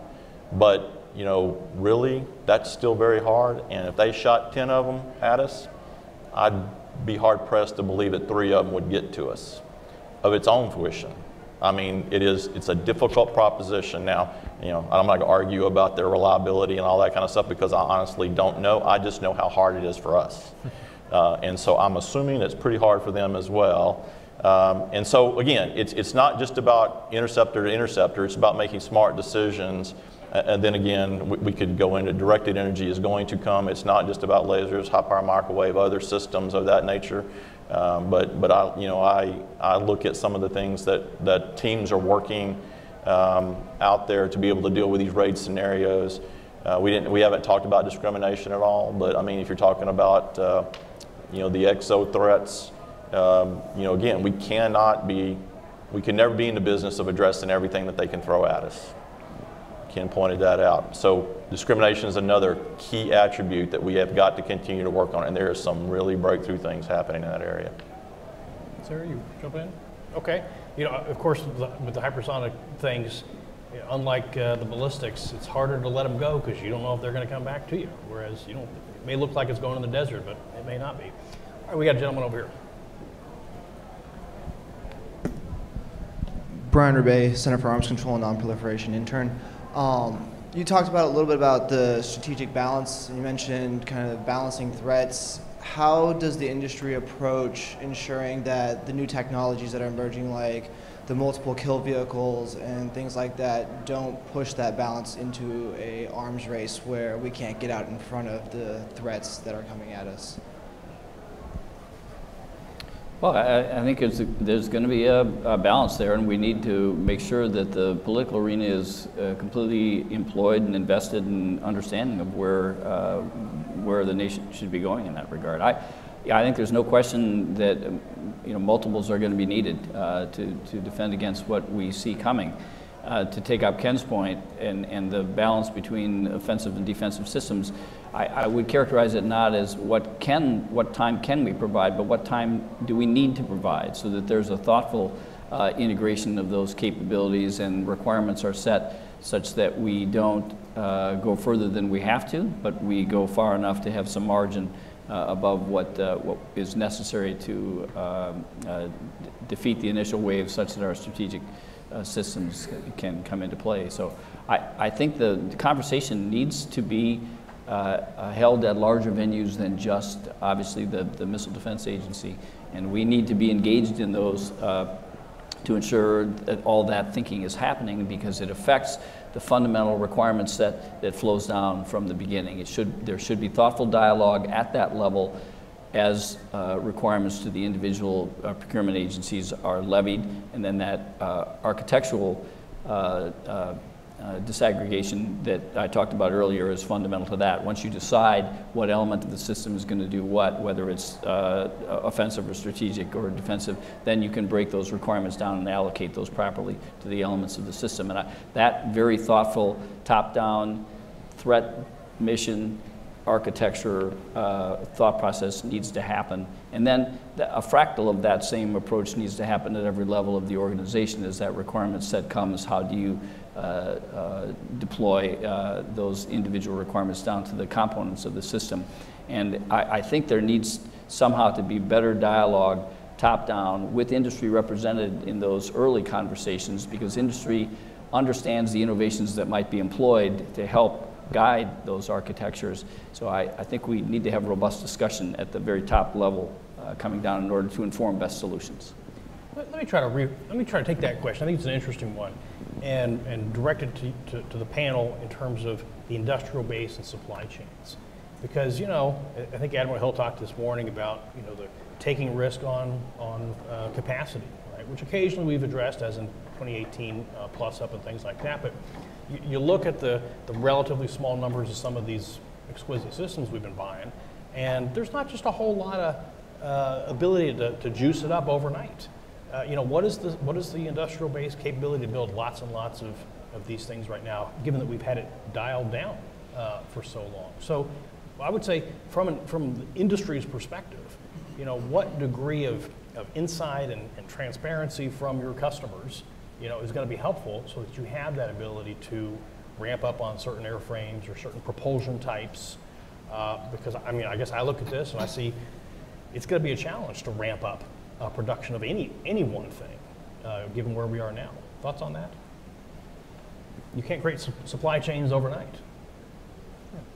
Yeah. A couple of things. Um, certainly, uh, solid propulsion, large solid propulsion. Um, there's a couple of major providers.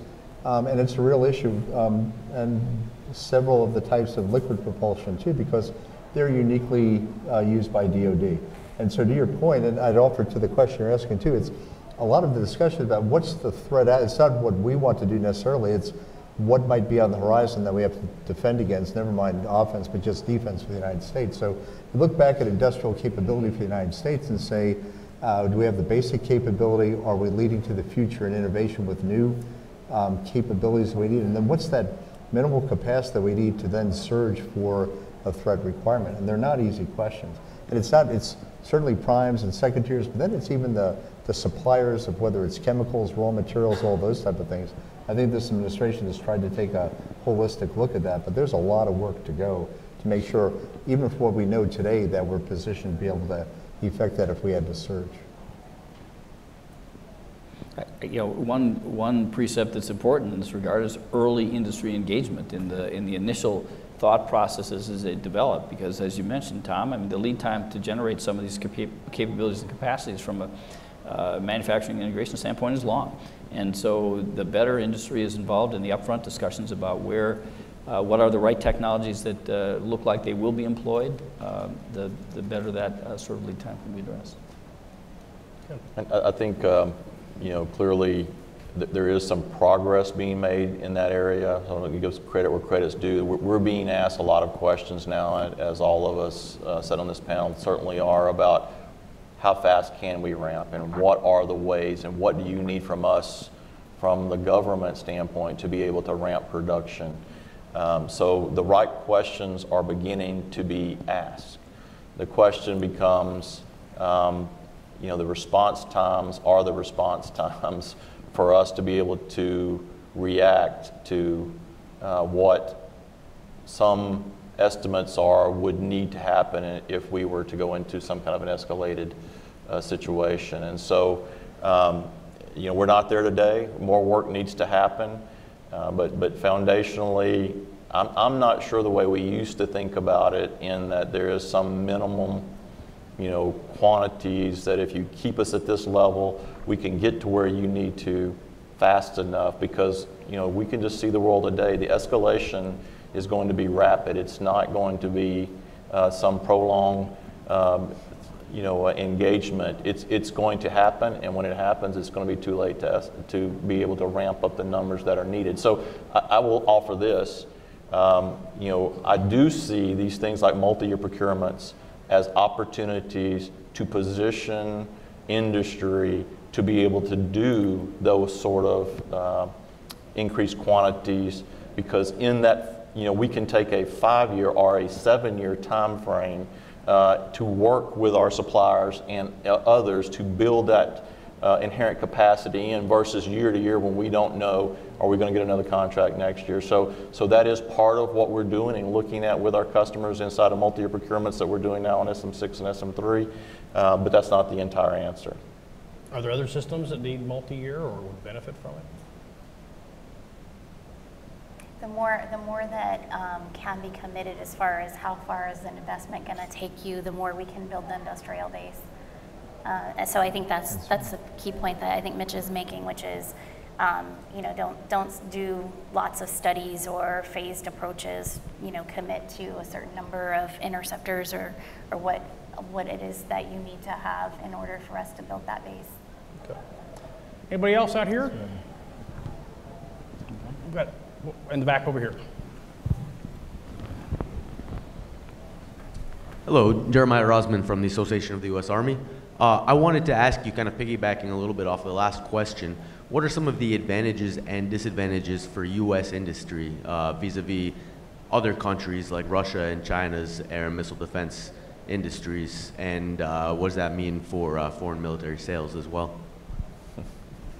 Are you, ta- are you talking S400 kind of stuff, or so the, the, the global competition for? I was actually going to go here. The global competition for air missile defense.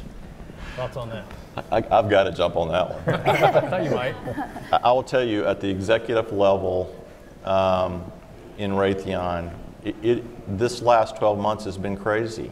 We, we, no longer have discussions. I mean, I'm telling you, these folks up here are our partners. We don't have discussions about how are we going to go compete against them. We're going into markets and competing against China and Russia. I mean, head to head with China and Russia. And it's, it's a new world for us. And, uh, and I'm telling you, I, I'm speaking for Mitch Stevison right now, not for Raytheon, but for Mitch Stevison. We as a nation better wake up to that. Because foundationally, they are selling to our allies. And over time, that's going to change the calculus for the relationships that we've relied on for years to keep the world safe. Are there structural changes? Are there rules? Are there incentives right now in the U.S. market that affect that very question, your ability to partner, uh, that, that should be brought up? I, don't think that there are rules in, these markets that we're competing in. I mean, we can partner up here as we see fit to partner. Um, I, am just saying that we're waking up to the fact that in those markets, um, I can give you an example, and I won't tell you what country it was, but I was in a country recently, um, you know, got up uh, for breakfast, went down to the hotel, you know, um, little area for breakfast, and there sitting four set seats over from me was a group of Russians that were there to sell S-400, you know, and then in the Middle East now, we know as a fact with these attacks on that we just saw, these attacks on the Saudi oil fields, the Russia's in there offering them a system.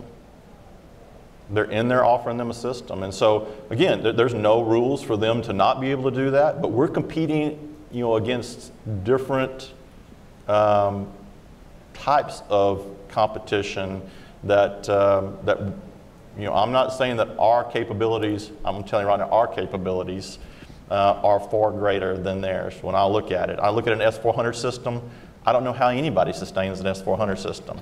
There's multiple radars, multiple launchers, multiple everything. That is a nightmare for, uh, a, for a force that wants to deploy.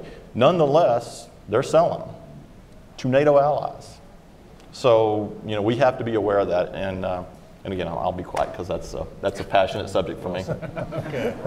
Anybody else? Actually, let's sort of stay on that for a minute. The, just the, the FMS and the, the foreign sales uh, uh, more broadly, I mean, over the past year alone, we've had Patriot, uh, we've had lots of Aegis activity, uh, IBCS, I mean, across the board. Um, uh, yes, there's the competition with the Russians and Chinese, but, but what, what are the, uh, the roadblocks to actually servicing that demand signal? You know, uh, is, for instance, U.S. customers getting in the way of, of some of those foreign military sales, whether it's the U.S. Navy or, or other folks? Um, what is the ability to kind of sell as much of the stuff we want to sell or, or services we want to sell for the air and missile defense side? Are we in our way, in our own way, in any manner?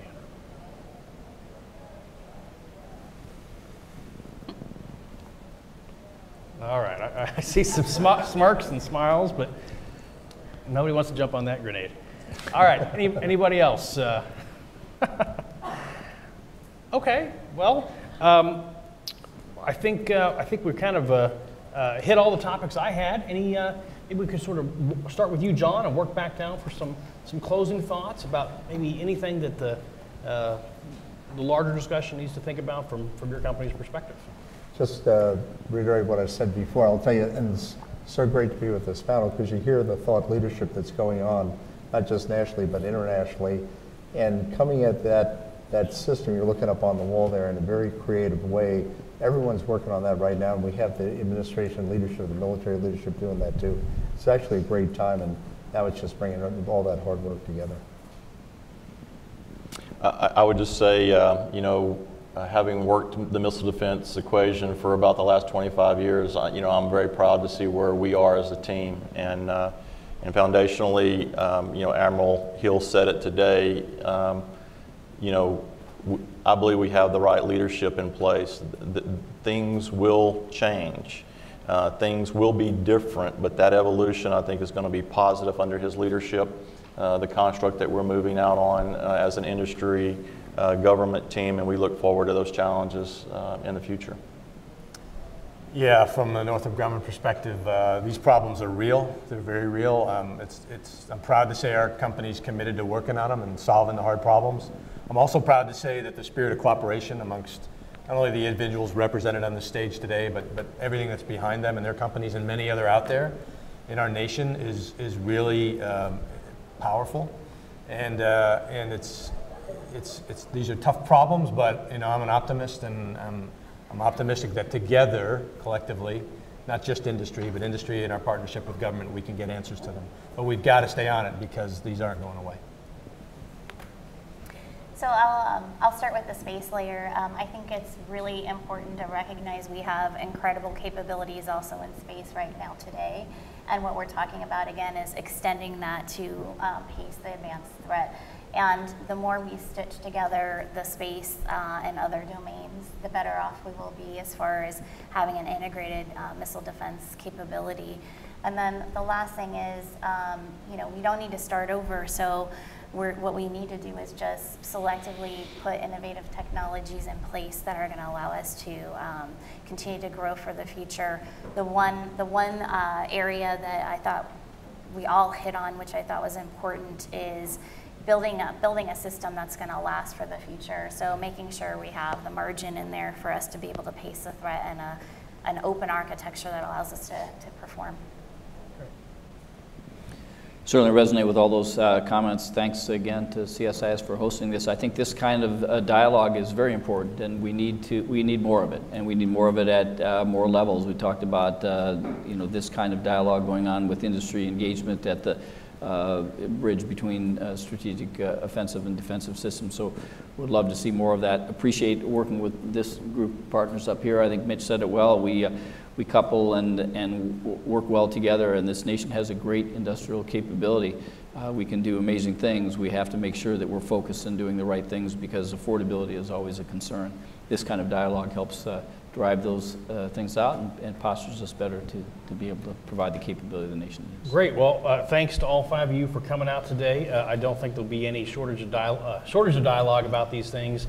Uh, the mission space is just uh, you know ballooning and mushrooming all the time. So uh, thanks to you all for your time. Thanks to everybody for coming out, and uh, hope to see you again soon. All right.